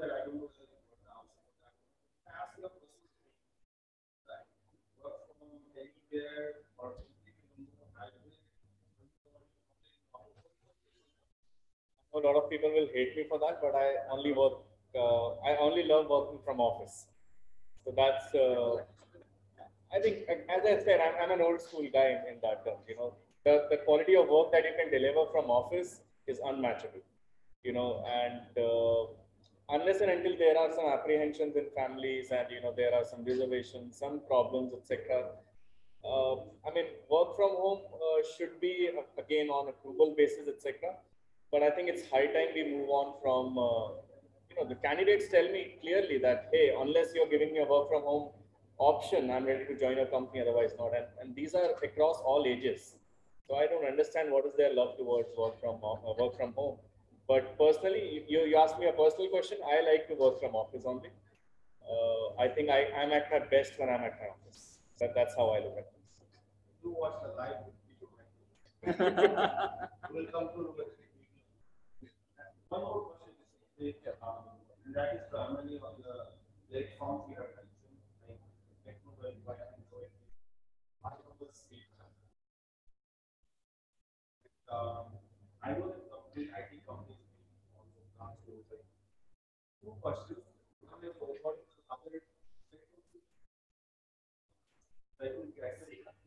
SigUp was there. Then SigUp is actually an app that I came across on Instagram a couple of weeks ago, wherein a candidate can post that I have an offer from X organization paying me this much. And the other people will start asking them, refer me there.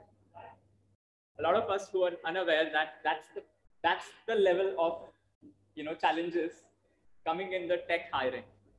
right? When I came across, I was really astonished. Yeah.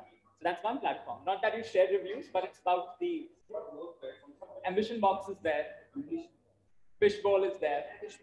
Glassdoor is there. Yeah, yeah. Fishbowl. Fishbowl. And, sorry, that is the first part. Yeah. Second part was that, so at least the Indian audience, people don't take efforts to go to those platforms and appreciate the company. But they will take effort to tell about negative things, even if science is goes wrong. So there is, there is a question of the credibility of those platforms as well. Right? It's supposed to be for just frustrate putting out their frustration as opposed to. How do you manage it if you are watching those platforms? And how do you link that to your work? What do you do about it? So I think, uh, largely speaking, you can't 100% believe on any platform. We all do online shopping. Before buying a product, we also see a review. Some people like the product, some people did not like the product. That's how human beings are.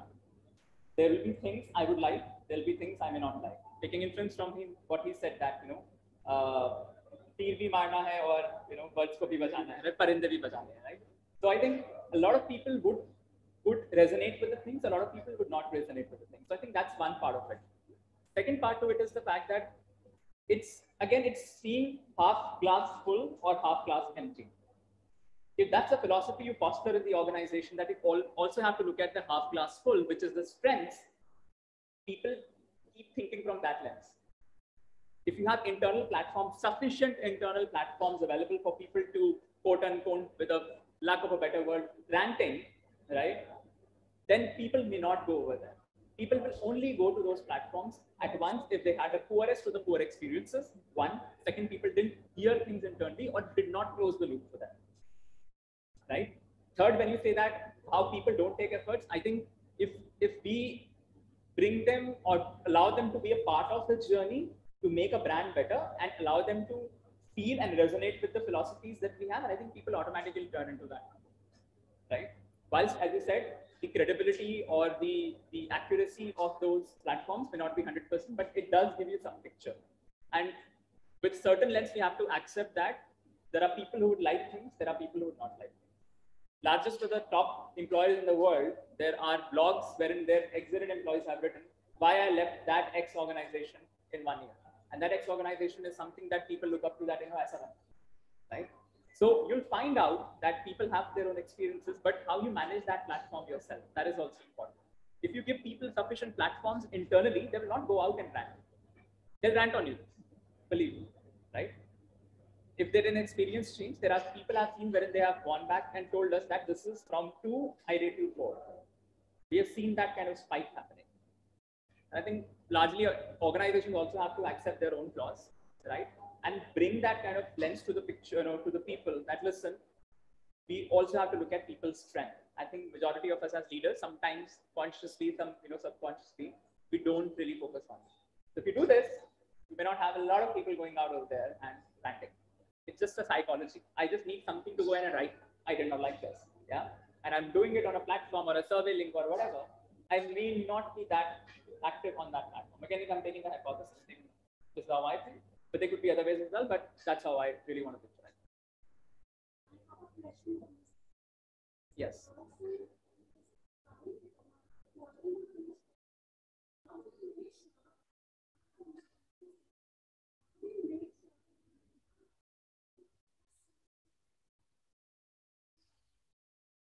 So what we focus is that every six months we want people to turn back and see what they have learned.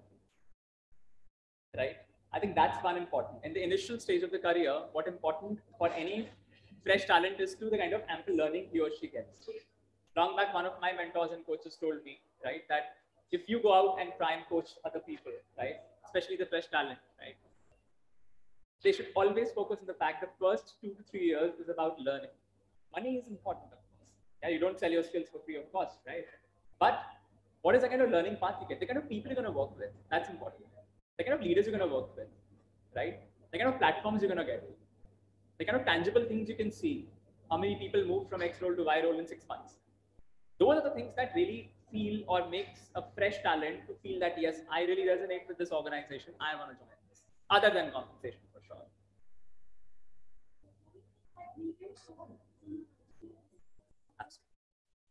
Absolutely. So that's why if you go out and see the campuses, uh, there are companies through the, you know, their their org talks, right? Organization talks, right? They do focus equally on the uh, culture because when you go out in campuses, the compensation is open to all. People know that how much I'm being paid. But once you join the organization, that's where the race begins, right? And what drives you to sustain and fast track that race is the kind of culture and how you relate to that culture. So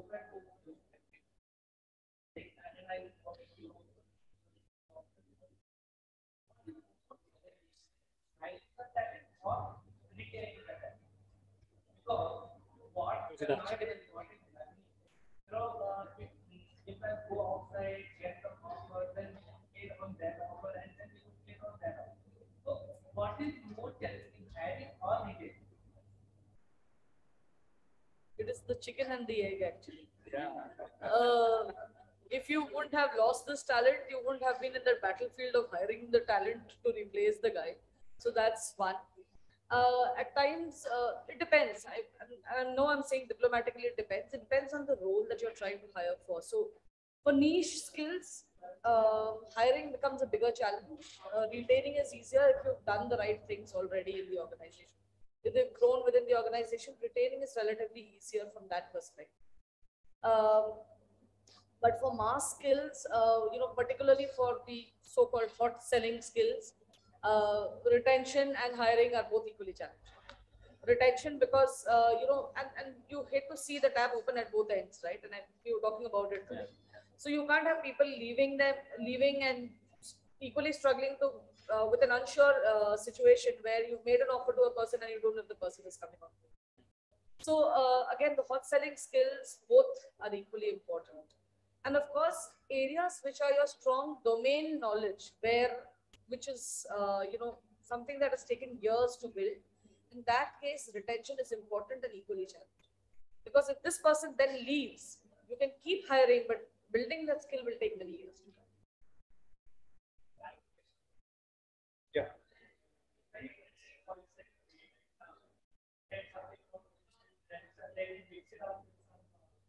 These have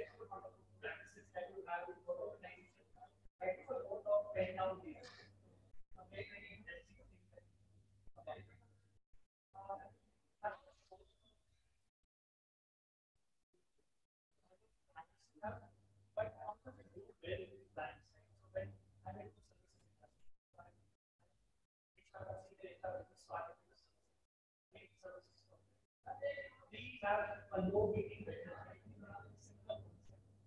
uh, that are adverse for the company. I have the- But how does it go well to plan that? We still can't have a very good thing to be honest. I mean, uh, it's have such a policy, but how is it practical? How is the implementation of practical for the clients? And how to take that to the this is how I have you know, complicated this concept in my organization. But what's the uh, and not taking one day, that's a lot of people that right? And that's how I have a lot of policy and right? So well, uh, let me answer this question uh, relating to the first, relating to the first part of your question. So this concept was very much very much valid in that organization where I was working, where we weren't billing client on daily basis, right? There definitely it's a possibility. It's like you're you're unwell, you're or you're going on a family vacation. Simply you just tell that client that hey, I'm not there on this this this day, right? Uh, so even the pens down day, it is always not like a surprise that hey tomorrow it's a pen down day. We plan it, you know, team. We inform the teams that next week Friday is a pens down day. So manage your clients, tell them that you have limited or no availability, something of that sort. Again, this was possible because we weren't into uh, T&M kind of a uh, you know project. You know, unless and until we are like actually billing our customers to attend phone calls, you know, uh, deliver something on daily basis, there these concepts will not work, right? Maybe uh, what you can still do if, if there is a T&M kind of a project, you can not do a pens down for the entire organization, but you can do pens down for different teams or a different set of people at different times, uh, which we call it as skeleton model. So if there are 10 people working on a project, you will let five of them go on a pens down, but the remaining five will continue to work on the project. So that client work doesn't suffer. That's just an idea to, to take care of the T&M kind of a project. But we were, uh, at least I have never been into a company where, uh, you know, we were billing clients on daily basis. It, it, we always had a long-term projects.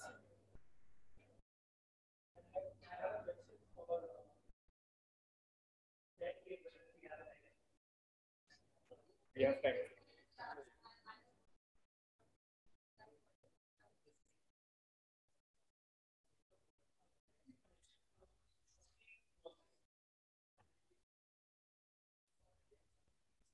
One week. One week. You know, biggest challenge for our industry is managing the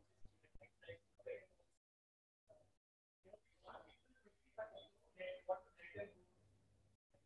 So how do you manage that? You know, um, you bring that 90 days. uh, There were some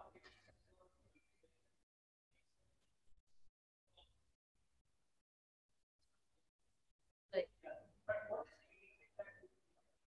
is I, I won't say we do something very unique. Most organizations do that. But uh, like I was also mentioning during the discussion, there are regular rhythm calls that are set up. So, um, you know, uh, it's first 50, 60 uh, days at least, if it's a 60 day period, typically a two month notice period on an average. Uh, every week or 10 days, there is a touch point that's happening by either the hiring manager or the human resources person or the talent acquisition person or a buddy uh, you know, somebody or the other, and just sending mailer is probably what we would stick to. So we would probably do that at the initial stage, but more about just picking up the phone and having a two-minute conversation. That's something that we particularly do with our folks, uh, because you know the moment you're speaking, uh, like I said, very simple example: if the person is not receptive to your phone, the person is not returning your calls, you start sensing disengagement. So, which you won't probably know if you have just sent an email because then you don't know if the person is reading it or not reading it. So, that's one thing that we certainly do. And of course, you know, uh, particularly during COVID, we actually had got into speaking to employees, looking at their health, figuring out how their families were doing, even for candidates who have been made offers and had not joined. So, uh, that gets to a next level of uh, human connect. So I think uh, what we try and leverage is that whole aspect of power of human connection. That's that's the only thing that we can do. I know of organizations which have goodie bags doled out in between, so you can people try to do all of those things. But like I said, unless you're really connecting with the person, you don't know which way the person is heading. The question from live audience. I have a- You mentioned that you should be some time at the peak and then you have this post operative. The question is related to the peak hiring thing. Uh, What are what what number one what challenges the screening challenges one to be and second thing is what kind of challenges the direct hiring one So it's mix. Uh, we we do use social media for hiring. Uh, strong uh, push on internal referral, campus, and vendor. So the pie is quite well balanced from that perspective. Um, to be very honest, we started with tools. We did engage with Mettl as a platform to try and take technical tests. Mettl. Uh, so try and take technical tests and eliminate.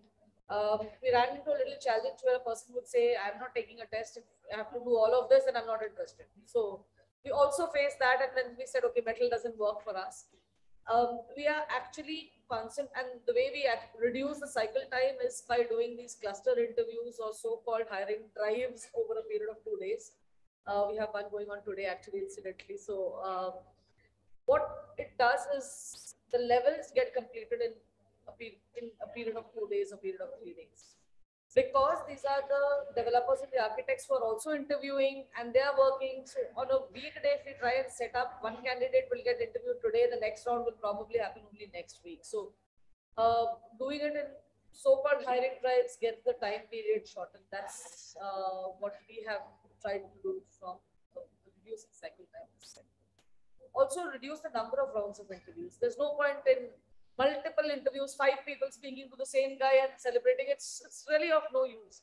So you uh, check on basic skills, then you check a little bit. If you're looking at leadership, then you get into leadership discussions. Uh, or you look at design and architecture principles or whatever you would want to do. So typically within three rounds, you know if the guy is culturally fitting in and can add value or not, instead of taking it to five.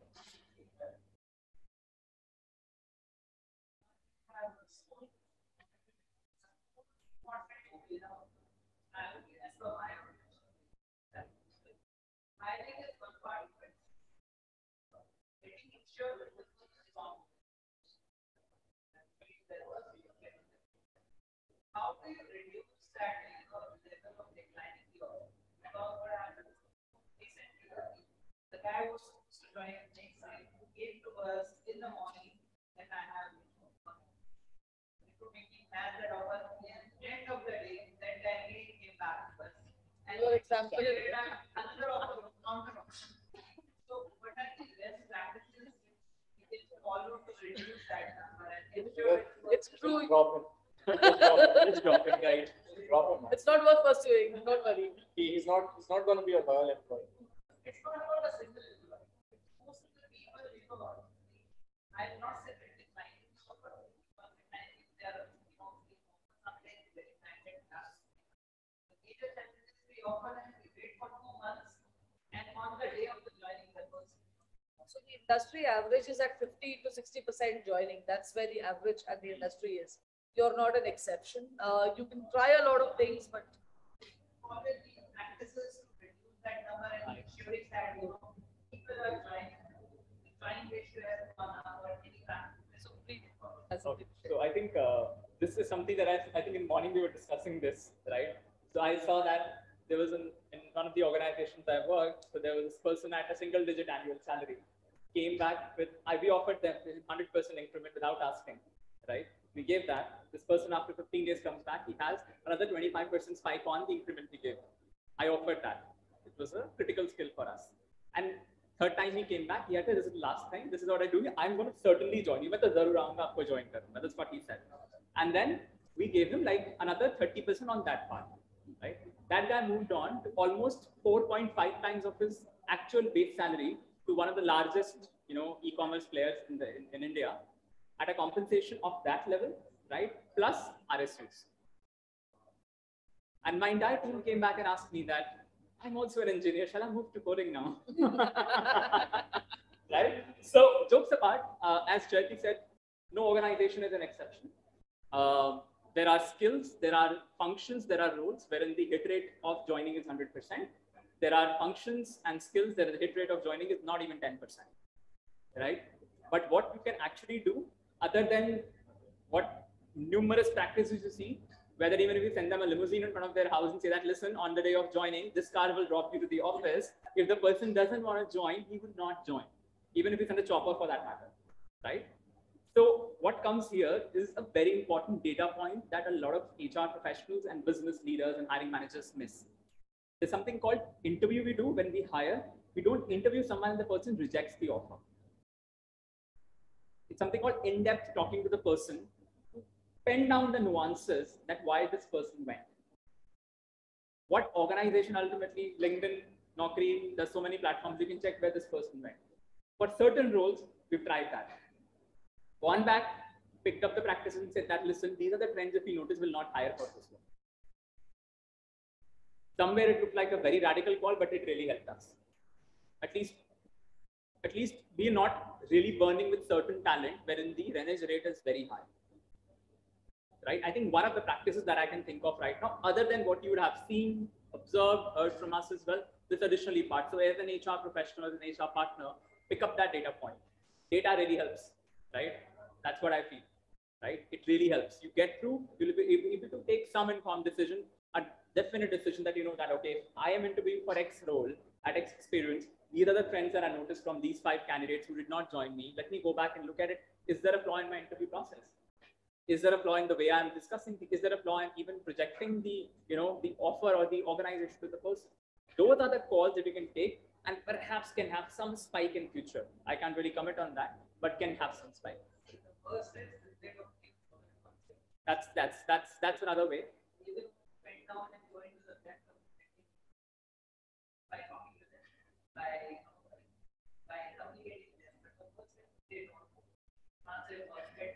Yeah. Yeah. So with that, uh, you may not have 100% hit rate on that. Maybe 10% of them will answer. Yes. That 10% will give you, will help you manage your rest of the 90%. At least we'll have some trend. And again, as I said, it depends from role. If there are people who are not joining because of whatever reasons, but when you try and engage, there are various ways. You can have a, another call done from somebody else. Check whether this person is really active or not. We've tried that for certain roles. I've given one number to somebody I know, so let's call him up and say that is he really looking out for now or not. Day before joining, you think, yes, I'm open to change. So that's these are the smart techniques you can follow. Right? Again, as I said, there is no 100% hit rate anywhere. But these are mechanisms you can try at least. Yep. Right, thank you.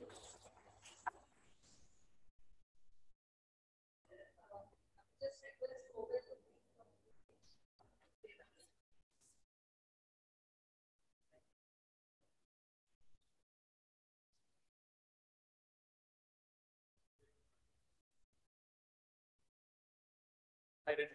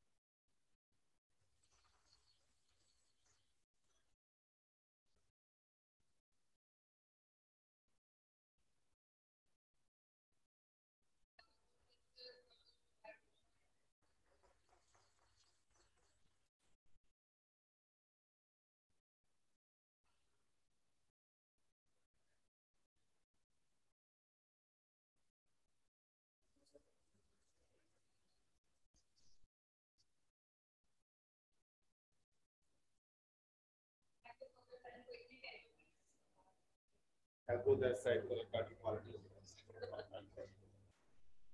All right, thank you everyone. And um, once again, I'm back. I kicked off, so I'm supposed to also give a closure. But I must say that the quality of the questions you guys asked, that shows that how deeply you were invested in what these guys are saying. And thank you very much. I think I appreciate the uh, the thought process which has been shared. I know and I agree with Jayati in a way that saying that we all are trying various ways by which we will be able to hire people and retain people. There is no straight away mathematics to do to it. And the inputs from Supreet and Vaibhav and, and the experience, Mr. Gupta, you shared. By the, way, we love the we love that Shero Shairi as well, which was good for HR. We'll keep that we'll keep that in mind. But at the end of the day, we I think we got something which we can go back with our organization. And I know that if you listen to 10 things, we just remember one and two. But that's good enough, right? If you can just remember one and two and go back and sincerely implement that, I believe that we will be able to make a change. I also believe that all the global audience who are watching us and sharing their comments uh, on the chat, um, they also got benefited out of all the conversation we had uh, whether it is uh, India, whether it is outside India, I think the problem is same everywhere, right? They are struggling with the same kind of problem. Happy if you guys have any perspective from your own countries, uh, feel free to share with us. Uh, we will definitely like to see and maybe get benefited out of that. With that said, again, uh, I would like to thanks to all our um, speakers here and also our moderator for such an awesome session. Thank you very much. And once again, clap for them. Now starting set up uh, great uh, learning. Over to you. I request all the speakers. Now, as part of the event, we have our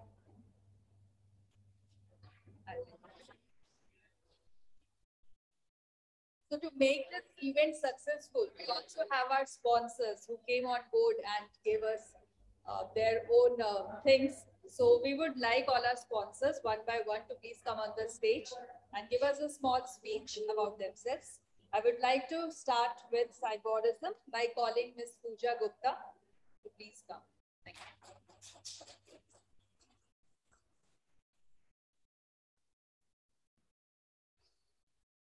Hola todos. My name is Pooja Gupta and I'm a global training manager, technical recruiter, and a Spanish language enthusiast. So I am associated with Cyberism Private Limited, which is a corporate training company and which is also into outsourcing and consulting. Cyberism is into technical corporate trainings and non-technical corporate trainings like soft skills, coaching, mentoring, leadership programs. We have our presence in global as well. Uh, I am leading the verticals in global like uh, Latin America, basically Costa Rica, Mexico, Panama, in Europe, Czech Republic, Romania, Greece. In UAE also we have our presence in Dubai, Saudi Arabia, Australia, and we are still expanding more. Cyberism also comes up with the customized services like providing the technical interviewers for you know shortlisting the candidates. We we have found in past few years that a lot of man hours have been invested by the you know team in recruiting these uh, technical talent. So we provide interviewers for that services. We are also into train and hire program where again we reduce the man hours of the HR team and we train the uh, we train the freshers and then give the opportunity to them to be hired by the companies. And uh, yes, we do have one good news. As I mentioned before as well, we are going to have our open training in advanced Excel.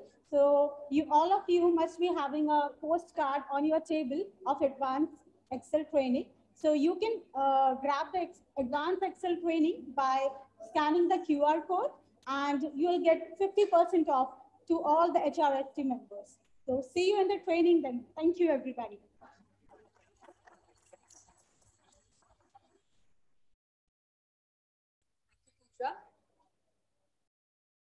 I would now like to call upon, just a moment.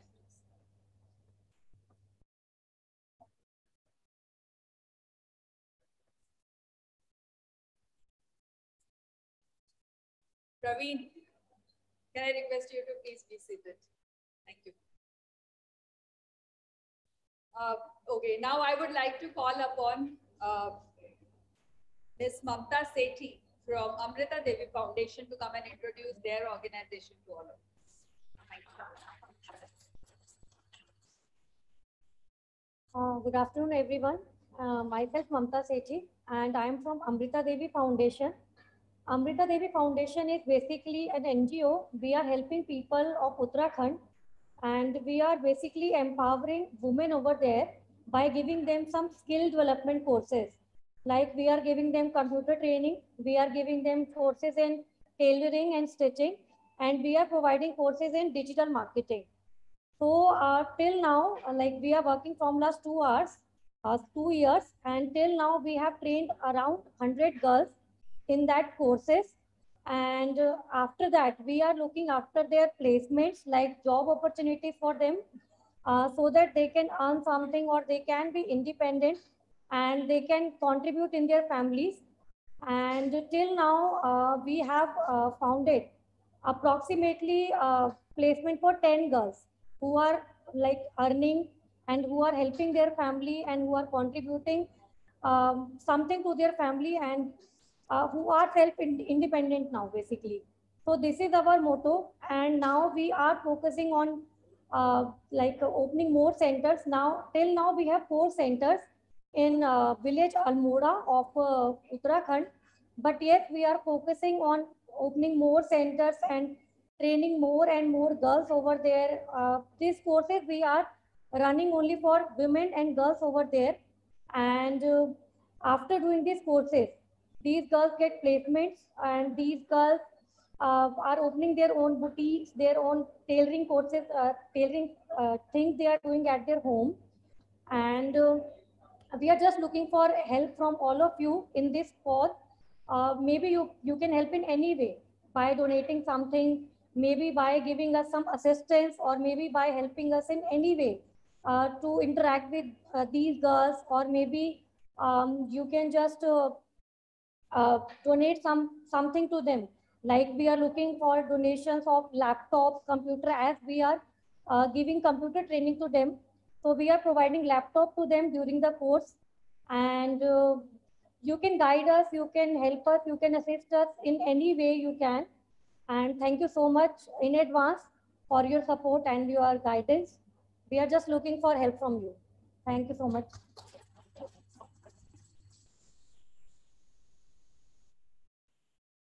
Thank you, Mamta. Now I would like to call upon Priyanka from Matyas to please come on the stage.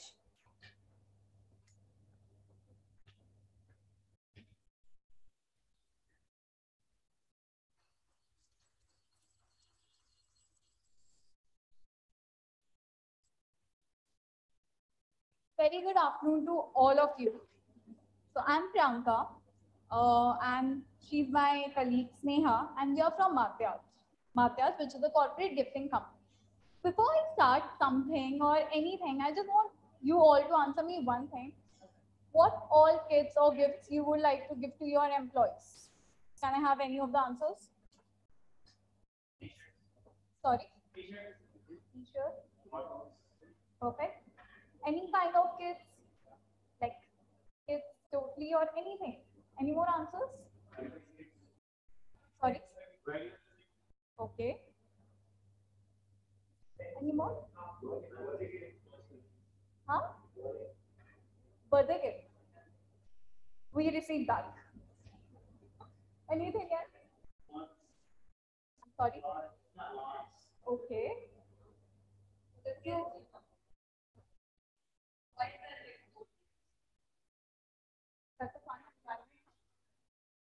So we make everything.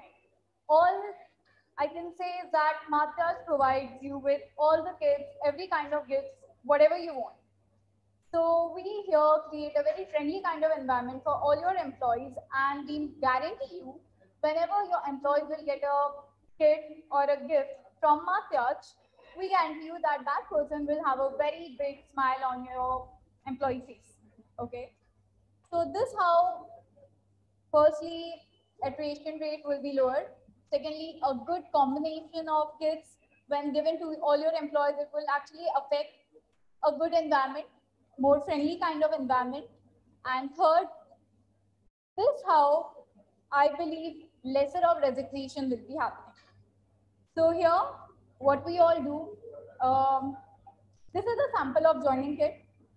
And I would like to ask my own colleague, Sneha, Yes. that Sneha, we are a gifting company. Yeah. We share all emotions, we sell emotions. Yes. So can you just explain what is that one kit you love the most? Um, firstly, thank you so much for asking this. I just want to say, so one the most thing I like the most that is the Women's Day gift. So I have received a Women's gift from Matyas. It's my company. So I have received a mug, a certificate, and many more things. So I just said that was the best gift I have received. Yes. Totally women empowerment, huh? Yes, surely. That's really nice. So not only we sell, we also get the boosting thing in our own company, and that is why I believe we as a company never get any kind of resignation feeling. So I would really like you all to have uh, all the varieties of kits are there on the back table. Before you go, just have a look on it. Thank you so much. Thank you.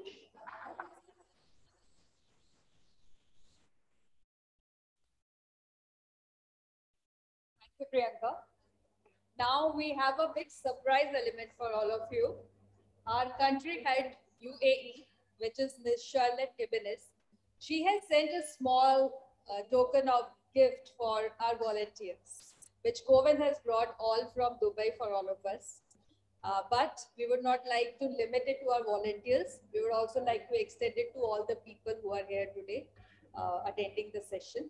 So I would request Govind to please come here and uh, just give this bag or we can say. I would like to start with Mossy. Go ahead.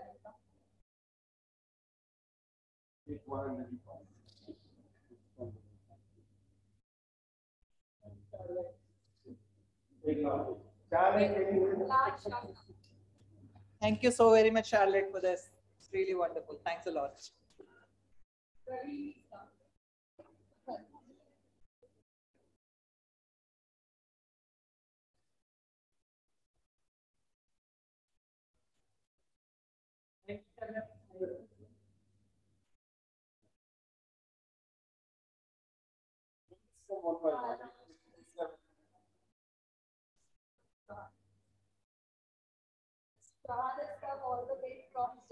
Attend our session. That's a good, I think I would like to out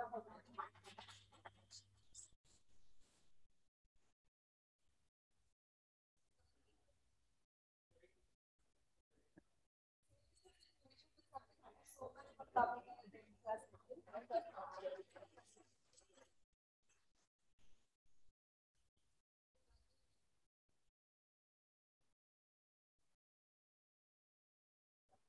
This is also one of the guests.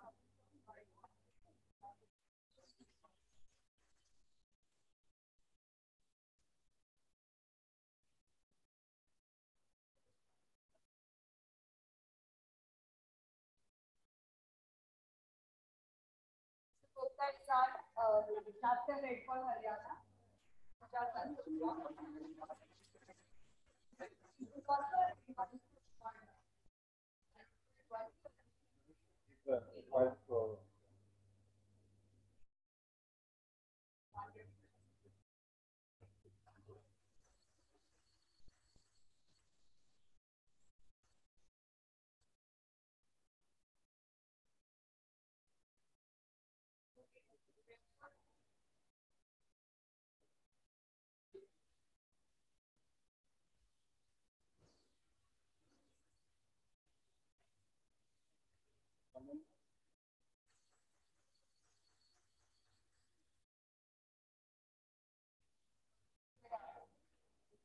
Neha.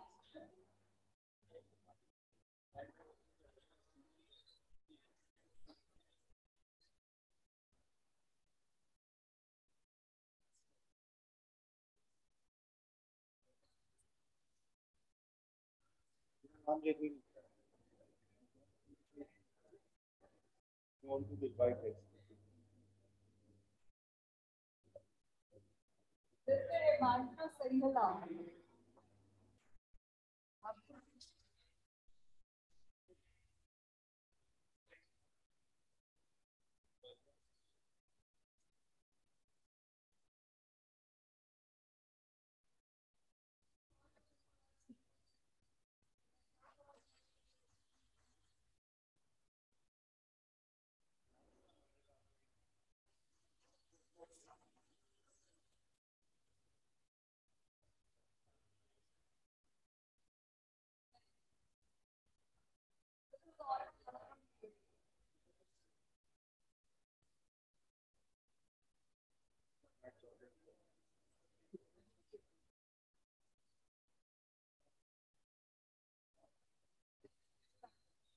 About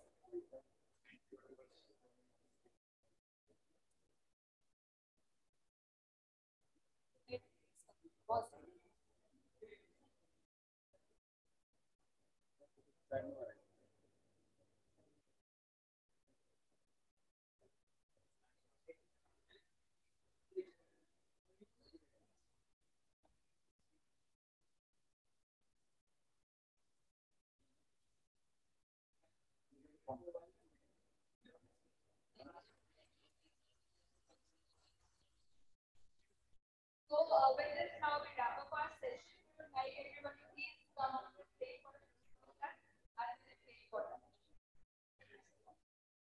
And with that said, uh, thank you everybody online uh, also, and uh, have a nice day ahead. Uh, see you in the next one. Thank you. Bye-bye.